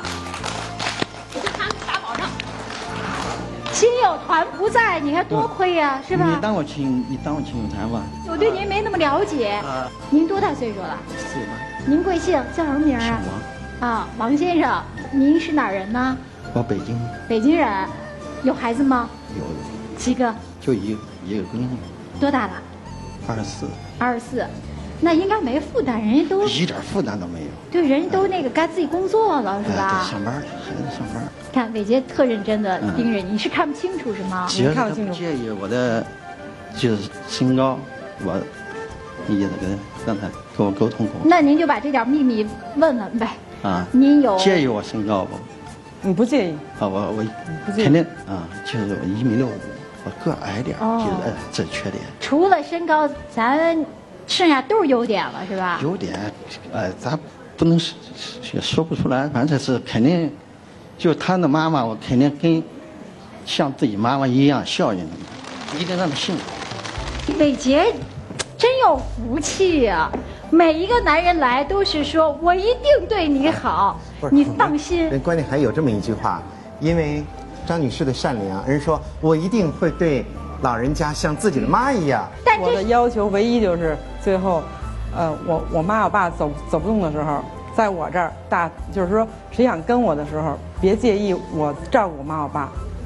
一号我跟你，咱们一块儿照顾妈妈。好。哎呀，这连妈妈都叫上了。二号、三号，哎，主持人好，你好。你好，哎呀，您您不紧张啊？呃，我还好，我我还挺挺挺得住，是吧？对自己依然那么有信心，是吧？没错，你看，不光一号，现在又出来一四号，出来五个都可以。这是几号啊？三号。哇呀，三号真的是。二号先生，哎，您好，主持人。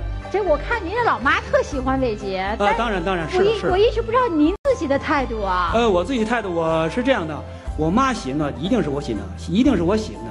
当我看到编导给我放了他的这个事迹之后，我发现我比我妈喜欢他会更多更多。哎呦妈呀！选择的这个舞台上特别多比伟杰漂亮的，真的特别的多啊！但是为什么她能够吸引这么多优秀的男士？就是我觉得我们男士都特别聪明了哈，他们希望这个我们说后半生和什么人相守啊？就和这种比较有爱，然后呢也比较大条，别那么唧唧歪歪哈。这就是北所谓的北京大妞。能遇到咱们那个公交公交站上有这样的一个美女，能做出这样的事情，我真的感到荣幸，真的是这么回事。至于说，呃，至于说能不能牵手，老天保佑。对，有这么一段话是吧？就谈到北京大妞，北京土生土长的女孩子那种豪爽、那种大气、那种热情，其实在她身上都是有体现的。对对对但是为什么您的场是这么热闹？嗯，您的场让大家出现那种我这是必须的，那我一定是百分之百，哪怕百分之一的机会，我一定要做百分之百的努力。为什么会这样？因为他们真的实实在在欣赏你。对，能给他身边的人带来快乐的人，这一点我跟他是相通的。我看得出来，就是说我自己的理解啊，以我自己的理解，他从事这个行业本身就是那种性质。关键是人林先生还没说以后要怎么着呢？你看，给他带来幸福，关爱他，是吧？怎么个幸福法？怎么个关爱法？就是我也没有多好条件，可是我知道他他累了，我知道我知道给他按摩，他那个他伤心了，我会哄他。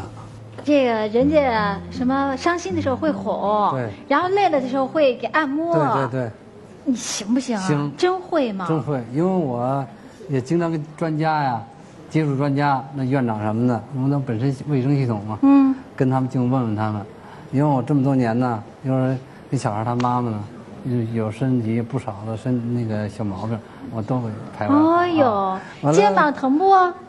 有点儿，真有点儿。是吧？肩左肩疼，右肩疼啊？颈椎疼啊！哎呦，颈椎疼。颈椎疼我给你摸，你看。哎呀，不舒服直接说，不专业咱就不用它。怕死了。对，我可以，没有没问题。我更更温柔体贴。不是这种，你说我也不会做，你让我去做我可以，但是这不叫按摩呀，我不会那种。但是你要说做谁都会去，我觉得这很简单吧，拍拍打打揉揉这都会的。你看王老师，咱俩录选择录这么长时间，你说咱肩膀不疼，咱脖子不累，是吧？这哪有这待遇，对吧？所以这个，我觉得这林先生是一个行动派哈。我看上了我就去七十七路，一趟不行两趟，两趟不行三趟。你看这一说，立马就行动。就是俩接地气儿的人。歇会儿吧，好了北儿啊好了，你歇会儿你还甭说，你跟王老师，咱仨捆一块儿，现在咱仨都喊肩膀疼，还不如人亲友团随便谁喊我也不舒服。可不是吗？这个就知道是抓什么，什么是第一位的。所以林先生啊是很明白的。不信的话，台下谁不舒服啊？您瞧，我先给阿姨按摩。真给阿姨按摩，哎呦哎，你看这才叫抓重点。是啊。没事没事，是不是？就你看，你也能看到，就是说这个，呃，是不是就这样？做的对不对？咱讲是不是？那意思就告诉说我没证我但是我也觉得我行。阿姨舒服不？舒服，真舒服嘛，真舒服。不会是因为林先生没享受过这个？哎呦，在家没享受过。如果如果要天天享受这么每天有半个小时，是不是这日子过得有滋有味了？嗯，高兴，高兴。您您现在行了，歇了歇着歇着要要给心疼了是吧？这，不是挺热的，还是吃一下子汗，是吧？这都是我们的您可您可行了你。哇，天都是大姨子，我跟你说，大姨子、二姨子、三姨子，啊，你当心点儿。你还没听出来？嗯。大姨子、小姨子，对，大姨子、小姨子都在。听出来没有啊？话里有话。二号先生。啊，哎，您好。真的，我这次郑重的劝您，算了吧，我再给你介绍一个。您必须放弃啊！你看，从这个这个我们女嘉宾这边都已经开始，哎，大姨子、二姨子、三姨子，别忘了都给按一下。那还大舅子、小舅子。对，还有。你听明白这里边的意思了吧？我听出来了，我相信他们的亲友团，就是他们自己的家人都会关心他到这来做选择节目这些嘉宾的幸福的。嗯啊，这没什么。所以您的态度是？所以我的态度是，呃，是不是快快轮到我上场了？他他他他着急，我叫他先上。一会儿他先生来吧。先生先生先生，我重申一下，呃，您要是不着急，待会儿该该轮到我了吧？啊，那可不。着急也没用啊，踏实的坐着。啊，没错。选择是你的事儿，但是我呢，衷心的希望，我的细心就是百分之百的愿意让你选我。好。好，谢谢。哇，好，待会儿见啊。好嘞。看看最终会有什么样的结果。嗯，好。我希望呢，因为我第一来的时候细心特别十足，嗯，这这一上台跟他接触以后，我觉得这人太好了。嗯，我反正我要我要介绍我自己的事，我都说了，我觉得说应该没问题。那边俩竞争者都挺好，但是说呃有的这个有或者文化差异，还有说这个社会呃这个乐理啊。嗯，还很多的知识吧，我觉得他们也挺好，但是说我的好在哪儿呢？我比他们都全面一点，啊，社会知识还有这个呃乐理，我都比他们强点。你这次跟张伟杰见面，他的什么给你留下了最深刻的印象？他的落落大方，就是稳重大方啊，嗯，这个呃人呢挺朴实，挺孝顺。我觉得你对他印象挺好的，是吗？还行吧，还行。但据我所知，二号真的挺不错的，见看看，看看，看看。行，咱先来个第一印象，好不好？来，大家好，我叫周军，今年四十六岁，是一名出租司机。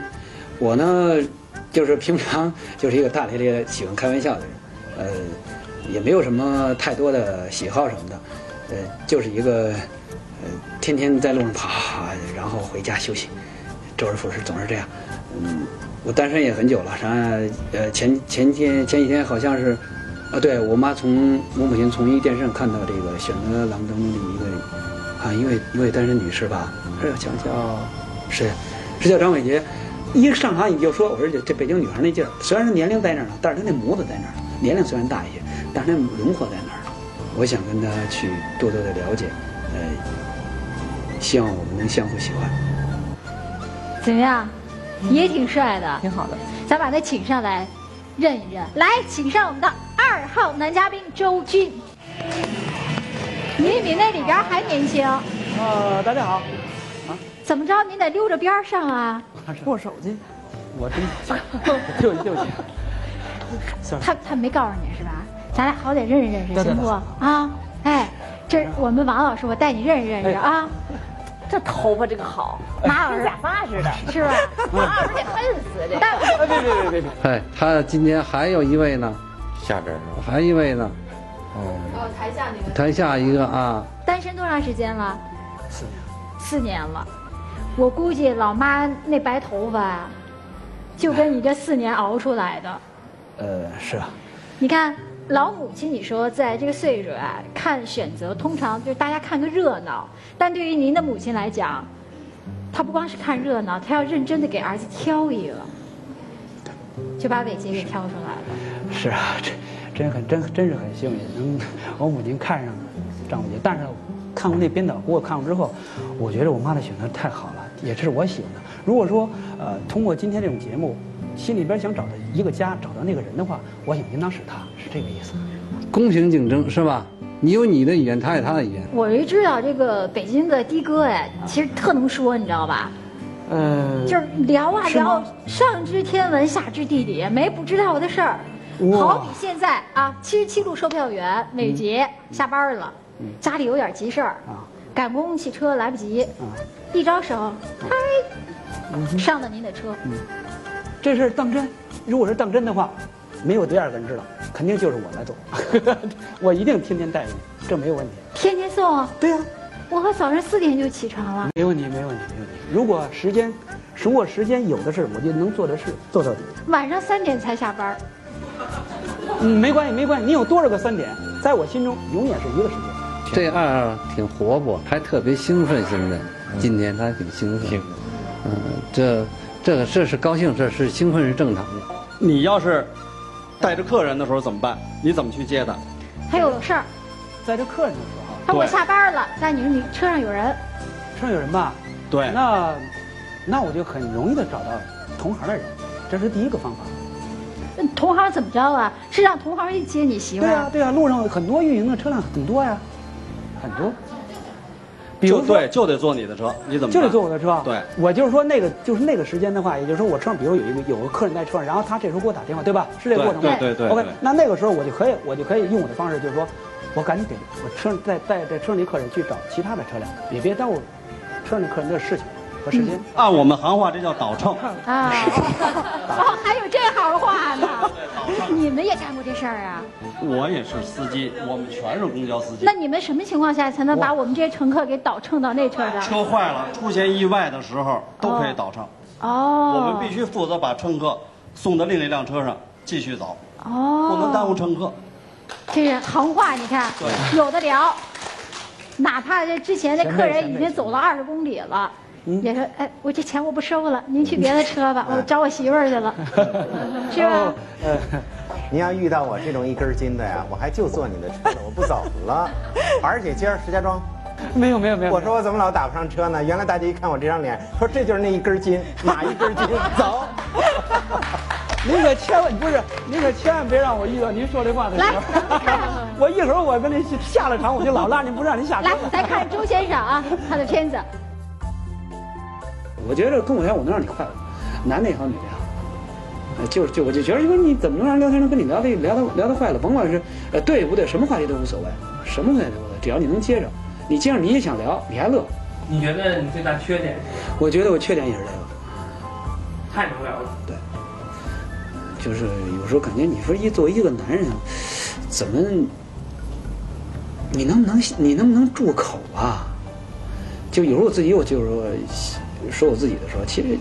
意识到的时候，我觉得是个是个是个进步，能意识到是个进步，就是少说一点呗。这个高兴叨叨叨叨叨叨，就如同有可能我看周星驰片子看多了，周星驰那片子我非常喜欢，他那种他那种无头的叫抽象的，你还得有经历，还得知道的，你才能体会他在表达什么。有时不知道的，你联想不到一起，你不知道他在表达什么，是这个意思。但是他一直在说，哎，对。哎，但你刚才说了一点，说你特别能说，能说到什么程度？也就是。话稍微多一些，你你觉得这算话痨吗？是是是，你要这么说的话，那那，你有对付话痨的方法吗？闭嘴，好接触，大气大气，真是北京大妞，真是大大方方的，这是真是我追她的真是理想的人。好，我们来看看周先生下一个片子。张小杰女士你好，呃，我觉得我很喜欢你这个人。你所经历的这些事情，嗯，能坚持到现在，是我们非是我非常是我非常非常那个觉得敬重你的地方。但是又说，如果说谈喜欢想想想在一起组织家庭，我也是非常喜欢跟你想组织家庭。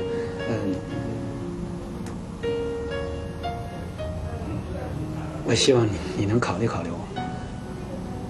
我我是带着一颗真诚的心来向你说这些。我如果刚才提到优点的话，如果说最大就对婚姻的优点的话，绝对是忠诚。就是说，在什么条件环境下，如果有有不忠诚考验我的环境，我同样还是忠诚。这点是，我自对我自己又对自己是深信不疑的。嗯，让我想起来刚才老母亲说过，老母亲说，周先生实在是太传统了，传统到觉得我娶了这么一个人，我应该是一辈子对他负责任的，是不是有的时候也也没有想到，说我为什么就会把婚给离了？那段婚姻有多长时间？十九年吧。十九年，孩子已经很大了吧？对。其实我们在想，婚姻到这个时候，很多难熬的时候都过来了，为什么反倒在过了四十了，孩子也大了？就没法继续了。我，就我个人而言，个人的经历而言吧，就是说，其实我相信每个人在组织自己的家庭的时候，觉得对方应当是天下唯一的，都是一生一世，肯定要坚守自己的承诺。我想这是一定的。谁把承诺打破的？这个问题能先放一放吗？我不知道我这么说。会不会合适这个场合？再好，也是昨天，是昨天了。其实很多时候啊，话特别多、特别密的人，老是会让人一种油嘴滑舌的感觉哈。但是我发现周先生身上真的是会有一种很特别的气质在里边。他也年轻，嗯，个儿也挺好。这是他的张伟杰的是。呃，权利，可作为在他没有权的权利，我们都能属于爬山的，往上追，往上跑，对，竞争，都争第一，争的什么第一？让盯的给张伟杰的印象，哎，第一。幸福我不敢说，温馨一定有，至少跟我在一起，我也觉得欢笑多的。我以我观察，我觉得。我自我自己认为我能给别人带来欢笑，但是在这方面，以我以我的观察的话，我觉得他还要好于我，在这方面。他可能给你带来的欢笑更多。对，所以说我觉得，如果能真跟他，呃，有一个温馨的家，那 当然是非常美好的事情。这温馨说起来容易，你准备怎么给人家呀？嗯，你看这一号直接上来揉肩，媳妇儿你累不？你哪儿疼我给你揉。呃，这些，其实我讲这些，你要是爱对方的话，这些真不是事情，都可以做，是吧？真是可以做这些。我觉得这个年龄，理解起对对爱别人和爱自己家这种感觉，可能可能不太一样了。就说给给揉揉肩呀，然后捶捶背啊，就是说让让家人就感觉到家人的温馨和放松这种感觉，这些我我相信。太多的家庭都能做出来哦，我明白您的意思。太多家庭，可是年轻气盛的时候就觉得，为什么我给你做你不给我做呀？到了这个岁数就就知道，其实两个人之间的这种关爱比什么都重要，对吧？对对对对，是。那对将来的生活有过设想吗？内心中的那个家，如果自己喜欢的话，那做什么做什么说什么，全都是温馨。嗯。所以以后的人生的道路上，感觉温馨，知足幸福。我用我的一生的、一生的生命来来来来打动他，不不用让真诚了，用我的生命来打动他。哎，你有什么才艺吗？那什么，这样，我我我我就唱唱，能唱你就唱，而且可能连不上啊。啊，没事，没关系。好不好？行了。啊，对对对，好嘞好嘞。呃，北京人在纽约的一个千万次的问吧。千万里，我追寻着你，可是你却并不在意。他就想得到这些，因为他失去的幸福太多了，失去的他得到的总之有限。你现在开始五十五岁，我，我现在想照顾他，我我能活多大？对，是吧？用有限的生命做出无限的，让人得到无限的幸福。在哪里？好在哪里？怎么样？很专业吧？这以后你这什么大姨子、二姨子、大舅子、小舅子的，是吧？心情不好，说姐夫，这个妹夫，妹夫，这个车别跑了，给唱一首吧，心情不太好。嗯，这这这，这就一起呗。好，来，最后抓紧时间跟伟杰说你最想说的那句话。其实我是我我真有最想说的那个，但是我我可能我说的说说不出来我自己那种表达怎么特别能让你能让你觉着不错的语言啊。一个家的温馨不是说出来就能说出来的。我们的经历，刚才我讲爱自己和爱家人，这个年龄我们能体会得到。希望有机会给我个机会，来争取我对你的喜欢，你能接受。嗯，是。好，那就再待会儿再见。好吧，好吧。热情、大方那种感觉，就是说刚，比如刚才就刚才我唱歌，我我真不知道怎么怎么去什么，因为我觉得我很我很很笨啊。然后那个张明说那什么会跳舞吗？来跳，因为他那一身那，我觉得哎呀，就是北京那种特别欢快，是吧？说我只要还是这个这个欢快，就是说大家在一起，就是应该其乐融融，其乐融融的概念。在那个电视上看到他那个找到失散多年的家人的时候，刚才在场上我就想说，我说恭喜你在这个节目当中能有这样还有这样意外的意外的收获，对你的和你的家人来讲，我当然没说了，有可能他脑子很乱，是这样。呃，我觉得那个那个细节，在我在下午观看的，我觉得那个细节挺打动的，挺确实是不单单打动我。我觉得虽然说我是众多喜欢张杰呃男士当中的一个，但是这个一个我可以这么讲，我觉得其他的那一个一个的加起来，也同样能也不也会被感动的，包括电视机前的人们，我也是这么看的。老天保佑吧。周先生在观察室的时候，觉得特别的奔放哈，但一到场上还挺羞涩的。被我的气质压倒了吧？你这没说话呢，这还。哎，说实话，一号、二号都见了，你对他们俩人的印象有什么不一样的地方？一号挺稳重的，他就是有点话痨。二号很话痨是吗？要这么说，我觉得三号应该也蛮稳重的。咱来看一看。大家好，我叫张必强，今年五十岁，我山西大同人，北京户口。一九八一年参军来到北京，在京已三十二年。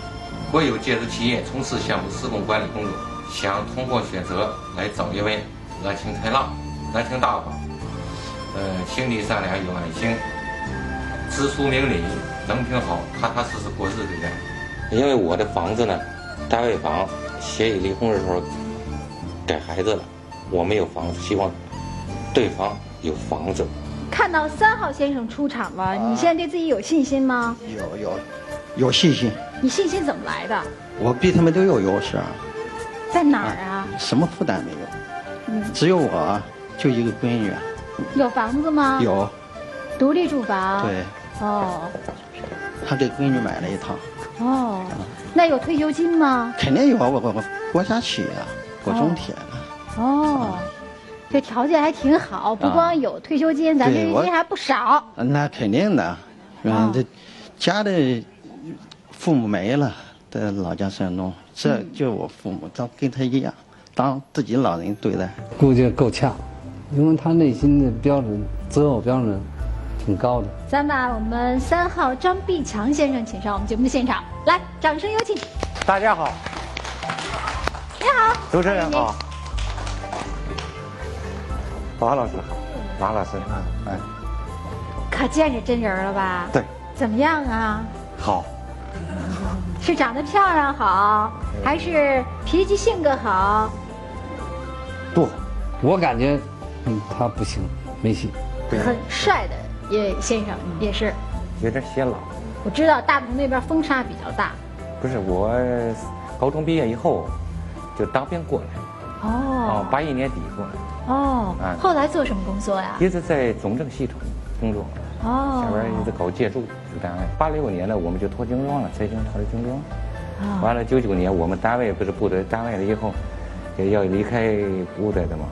我们现在归中美能源集团了。哦，是这样。那现在应该是没退休吧？没有没有，我六十岁。对，还要工作十年呢哈。最有戏就是他。是是是，大哥，您您别安我了，我现在我下来我都不知道我场上说什么了。我单位的房子啊，呃，协议给孩子了，就是现在我没有租房，现在他跟他妈生活，就是现在正在那儿生。哦，所以您就要找一个哎，有房子。哦然后我，这是一个硬性条件，是必须要有房子，还是最好要有房子？呃这个问题要搞清楚了。上门女婿是挺好的，准备做上门女婿了。对房子有那么重要吗？不重要，人只要两个人有居住地。在我来看，房子没那么重要。对，还主要是人，主要是人。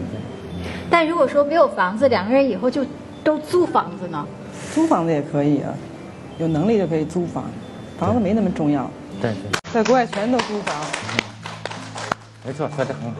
觉得伟杰的那个观点哈，确实是，其实房子真的没那么重要哈。如果说两个人都没有房子，其实租房有稳定的，呃，医保啊、退休金啊，其实晚年一样能够幸福。而且那个还提到了一个话题哈，就是对方有房，我上门儿。呃，当然现在这个状态呢，谁有房子在哪儿住都可以。但是如果说最初就把这个话题提出来，可能还是让人心理上有一个咯噔一下。那么到底想做什么呢？当然了，这个各个角度来看，这个先生也挺真诚。先生心里有什么说什么。其实我现在目前这个房子呢给孩子了，那我没有房子。如果对方有房的话，我是可以到对方家里去陪伴他，同时照顾他的老人，愿意把这个责任也担下来对。另外一个呢，他有呃工资，对这收入呢支撑家是没有问题的。因为到目前为止，我们不得不面对一个现实，你买一个房子不是一个小的数字，是需要自己要积积攒很多年之后才能有这样的一个效果。呃，看怎么选。我们看到第一段视频的时候，您台下的亲友团，我一直在注意观察，就那个黄衣服的哦这位亲友团，马上我就看到他的态度是在摇头。他们听到这句话的时候，是不是黄衣服的姐姐姐或者是妹妹哈，马上就摇头，这不行。我我我读的读您的信息没错吧？为什么要先把房子放在第一位呢？男同志不得好，不嗯，你怎么看？其实一开始吧，我挺向着这三号嘉宾的，因为我特别喜欢当兵的。我觉得当兵的人吧，他对他比较直爽，然后心地特别善良，而且就是说什么就是什么那种人，没有什么乱七八糟的想法，比较朴实啊。但是我觉得后来吧，我就觉得还是没有房这个问题，在北京来说是比较。张先生，你别别生气就好。嗯，不不不会。我认为正常。我这如我我我也考虑这个事儿，我也这么考虑。嗯，这个事儿，这个没有住房在北京是一个很大的问题。除了房子问题，我感觉我们这个人是刚才说了，我们非常踏实。这个除了房子问题，我我说他没挑，没得挑。好，我们来看看张先生下一条。呃，张女士你好，呃，看了这个选择节目啊，呃，通过通过你的叙述啊，我能看出你的你的热情、你的大方和你的心地善良的一面。我觉得你的修养涵养比较很高的，所以说有就你这个状况，一般人做不到，从心里边比较佩服。嗯、所以说你，我我觉得想通过这个选择节目认识你，想了解你，了解了了解你一下，呃，想我觉得你不错，所以说呃想认识你。你好像突然之间不会说话。不会说，不会说，对，不是下边这么说。嗯，为什么不会说了？一方面我是外向，一方面是内向。嗯，特别是在这方面我也比较羞涩。嗯，呃，想想说也不敢说的。他应当选择我，信心十足。希望他能选我呗。听着自己说话都乐哈，乐什么呀？是是是，确实。乐啥呀你？嗯，乐那好好好笑。好笑，没见过自己上镜什么样儿是对，没见过。那天紧张还是今天紧张？那天挺紧张的，不知道怎么说。都五十多岁了还害羞呢。啊啊，他不这还又捂脸又笑的是吧？是吗？啊，首先他这个人外在阳光，很喜庆，爱笑，他还有大气大方这一块儿。再一个，他是那个心理心品格比较好。我们来看一下张先生下一条片子。我是觉得是一个，就是说责任心比较强，心比较善，这两点是对我最大的一个点。做人我是比较比较诚诚恳的那种人，说说白了就是说厚道，比如说我们老家人说叫厚道，比较真心没假，就是说人家说年年五十岁说再加到宠，可能有点有点幼稚，所以说我把这个词儿改了一下，叫做真诚。很纯，不是从从从就是从真 嘛人嘛比较真的，对，嗯一点不掺死水分。我我不会说假话，就是说说一点假话就脸就害臊，咱们就说害臊红。所以我愿意做一个真诚的人。他他那样呢，你看着很自然，就是他不做的，他不带装，我就觉得这就是真实嘛。来，我们来了解张先生接下来一片子。我觉得爱情是是神圣和伟大的。我因为第一次婚姻对这个爱情不太懂，活到五十岁没谈过恋爱，嗯就不知道恋爱的感觉。所以说我这一次就是大概的以后啊，也也想恋爱一次，这样的话感受一下恋爱的温馨和甜蜜。您那说的所谓的第一次，啊，第一次，您是有几次婚姻我有？两次婚姻。哦，您什么情况？一零年离婚了以后啊，一一一年有就短暂的婚姻，啊第一次婚姻是什么时候啊？就是八六年八七八七年，嗯八六年脱离中装，八八八七年应该是八七年的时候，嗯也是大院老太太给介绍，嗯介绍以后就我们认识，认识当时也是，就是沟通也是不太好。征求我妈的意见的话，你能成人，老人的意思，找个他人过日子就行了。嗯你找个花里胡哨的，你你也哄不住人家。嗯当时就这样稀里糊涂的，就是也没把这个，也不知道婚姻是什么东西，爱情什么东西，就是稀里糊涂结婚了。就在那个婚姻当中就有了这个孩子，是吗？哎，对对对对，哦，这婚姻维持了有多少二？十年就在那那最后离婚总要有点理由啊，就是说不在一起，做不在一起，很别扭的，就二十年就就这么基本上就这种状态。就这种状态，你根本就没法沟通的。所以当时离婚的时候也不会太痛苦吧？我们两个也是，他也跟我一样，有一种轻松感。他们离婚的原因只能两个人清楚，是吧？别人不知道。所以有的人说：“哎呀，离婚是一种解脱。”哎呀，我高兴。他是真的，他受过那种煎熬，他实在受不了了。要该离就得离，不离呀、不行，不离都煎熬着、苦熬着，跟监狱一样。这要说年轻的时候咱不懂爱情，这第二回，咱不得好好的挑挑第？二回是这样子，当时我后来出来以后啊，这样的话也接想成家，公联网也也认识，认识以后也见，见了以后，说这个人还外在还可以。唯一的办法就是咱们见面啊，在外边见面就不了解一个人，咱们说的真话，以为人家是个真话，假如说是跟我说的在银行工作，在一起生活以后啊，才发现他不在银行工作，不在银行。在银行东点做销售的那种，哦。做保险的，好多不愉快的东西，他也不让问。所以结了有一年，没有几个月，就是三月三月份结三月底结婚，五月份发现有这问题，嗯，就是会我会了解问他一下，但是一点儿不让，好多诡异的东西不让问，不让问了就是就就这样的话，他他心里也不痛快嘛。主要是他的工作性质，可能是有一些关系。嗯啊，是后来这样的话就分手就分手了。这种更痛苦。结婚跟离婚差不多，没有真正了解对方，是吧？说真了解对方啊，好几十年也能离，那你总之你过了二十多年了，是不是？伟杰对于张先生的两次婚姻你怎么看？第二次太草率了吧？草率，嗯，没没了解好。嗯，这不是买萝卜买菜买家去了，到时候你熬他一辈子。刚才说了一句话，五十岁了，我希望有一次恋爱，要不然的话，这一生真的就这样过去了。到这样的一个年龄才想到谈恋爱，说我没有谈没有体验过谈恋爱的滋味，我想体验一次。在电视上看到一位张女士之后，马上就开始怦然心动，就有那种恋爱的冲动了，是这样的一个状态。对，呃，那么任何一个年龄都是可以恋爱的，年龄再大一点，七十岁也是可以恋爱的，只要你有这份心思，对方愿意跟您配合，因为恋爱是双方的事情。对对那就要这个权利就在对方手里，因为您已经表达了您自己的态度。其实两个人也做了很多的了解了哈，你依然要像我们的一号、二号男嘉宾一样，来给自己争取一下。有什么要对伟杰说的？三伟杰女士，都是那个你学着我，百分之百对你好，对你妈也一定好，这一点你会放心，考虑我就行。好，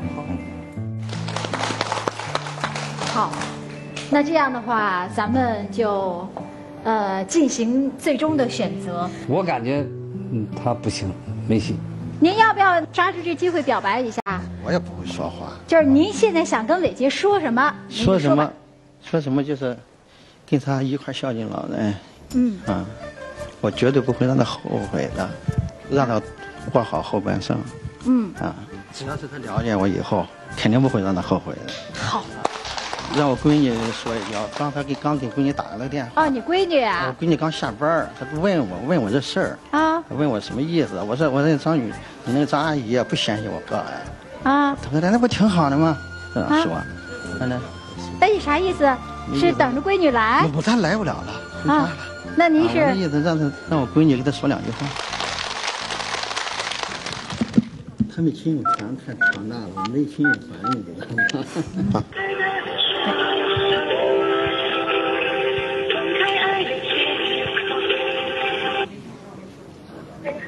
好，我是选择的主持人小燕。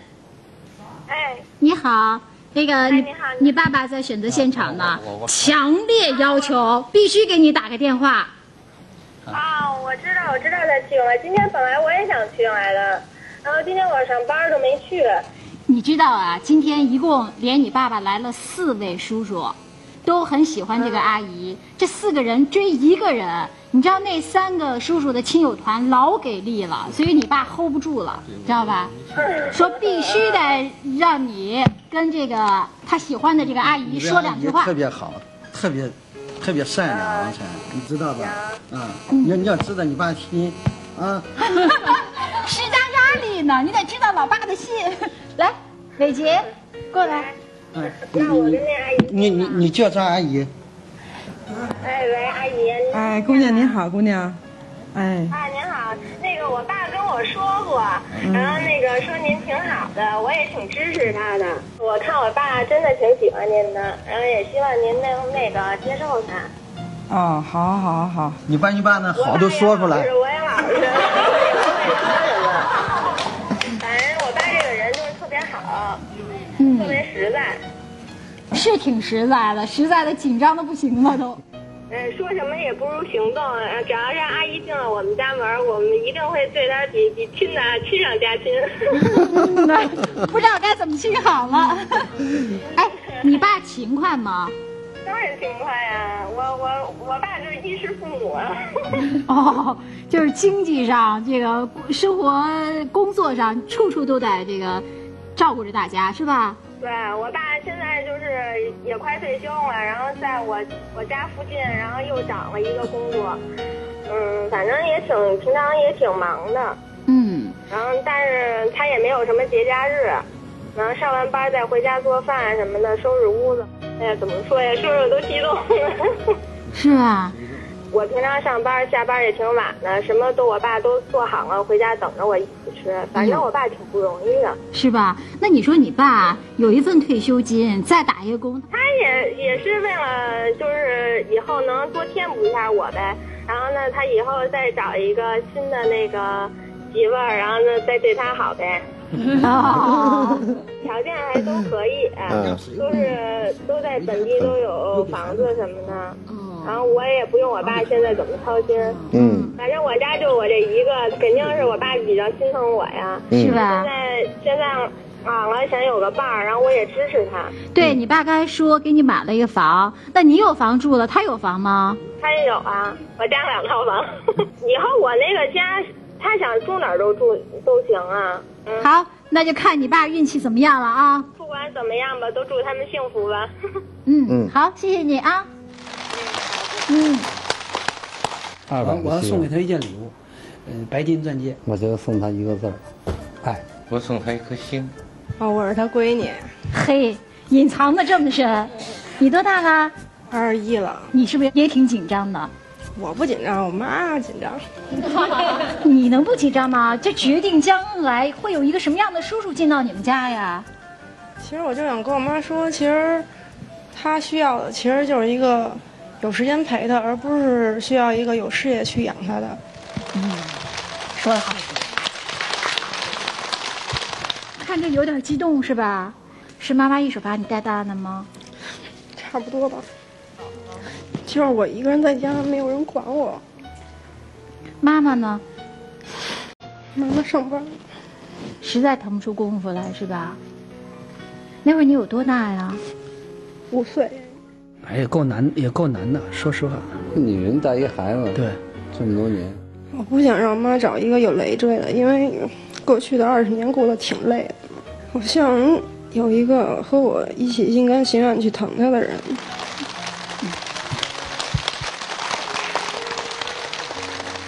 你要是选择了你这样的叔叔，我肯定让你满意。我说过的话就是他，人家也可以说呀。所以刚才说了，说只要选择我，你跟你妈没问题，就放心好了，会让他们幸福的，对吧？肯定的，那绝对的，必须的呢。华而不实了，你说你感觉让咱幸福是吗？是，完了，必须的，绝对的，肯定的，那没问题的，那有什么用啊？那绝对没用。看到了，四位男士，一位女士，而这四个人其实都冲着一个人来的，这又意味着我们今天的竞争是非常非常激烈的，每个人只有四分之一、百分之二十五胜出的机会，但是可能对于某一个人来讲就是百分之百，对其他人来说就是零。我们还是给大家最后一次机会，每个人再把自己心中所想的跟伟杰来表达一下。来，一号先生。张伟杰，爱是永恒的。对伟杰的爱是永恒的，对是吗？好，二号。嗯张伟杰，幸福向你走来。嗯，你就是张伟杰的幸福，对吗？来，三号。张伟杰女士，这次来学着，呃，很很高兴认识你。这样子，请你认真考虑，选择这次机会，呃，幸福在你选择当中。嗯，好。四号。张伟杰女士，我一定会让你幸福的。嗯，就看你选不选我了，是吧？好，四朵玫瑰啊，该怎么选呢？两位专家有没有意见？今天我们也不敢左右，因为台下观那个他的亲友团太多了，我们惹不起。决定权在你手里，你选择谁，他们都是不会有异议的。我有一线希望，去去就去做无限努力去追求的。能遇到咱们那个公交公交站上有这样的一个美女，能做出这样的事情，我真的感到荣幸。就她的妈妈，我肯定跟像自己妈妈一样孝敬她。张伟杰女士，都是那个你学着我，百分之百对你好，对你妈也一定好。可能真的是非常困难的选择，真的，我觉得每一个人都有他的优点，也就意味你选择了其中的一朵玫瑰，剩下的三朵就放弃掉了，也许机会就再也没有了。按照自己新的方向，走向你想选的那朵玫瑰。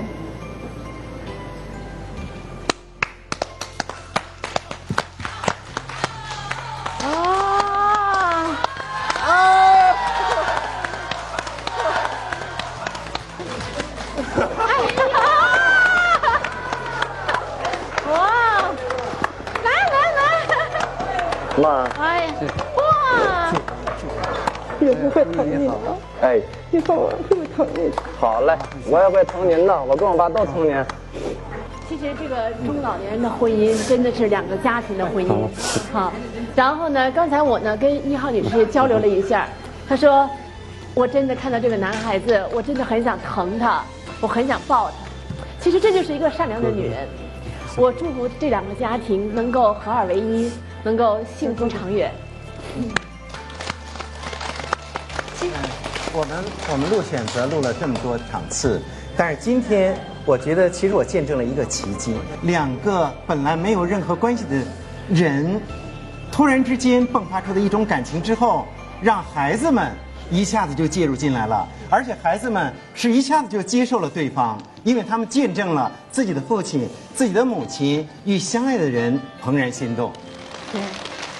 其实从今天的这个选择，真正的体现了两个人的结合是两个家庭的最终的结合。呃，有你们两个人在背后做支持，我希望他们俩的婚礼可能必须大办。哇！好，如果要办的话，咱们来到选择怎么样？只要他们两口愿意，行。哇！祝福你们，呃，让我们在今天这个美好的音乐当中结束今天的录制。我们再一次给他们热情的祝福。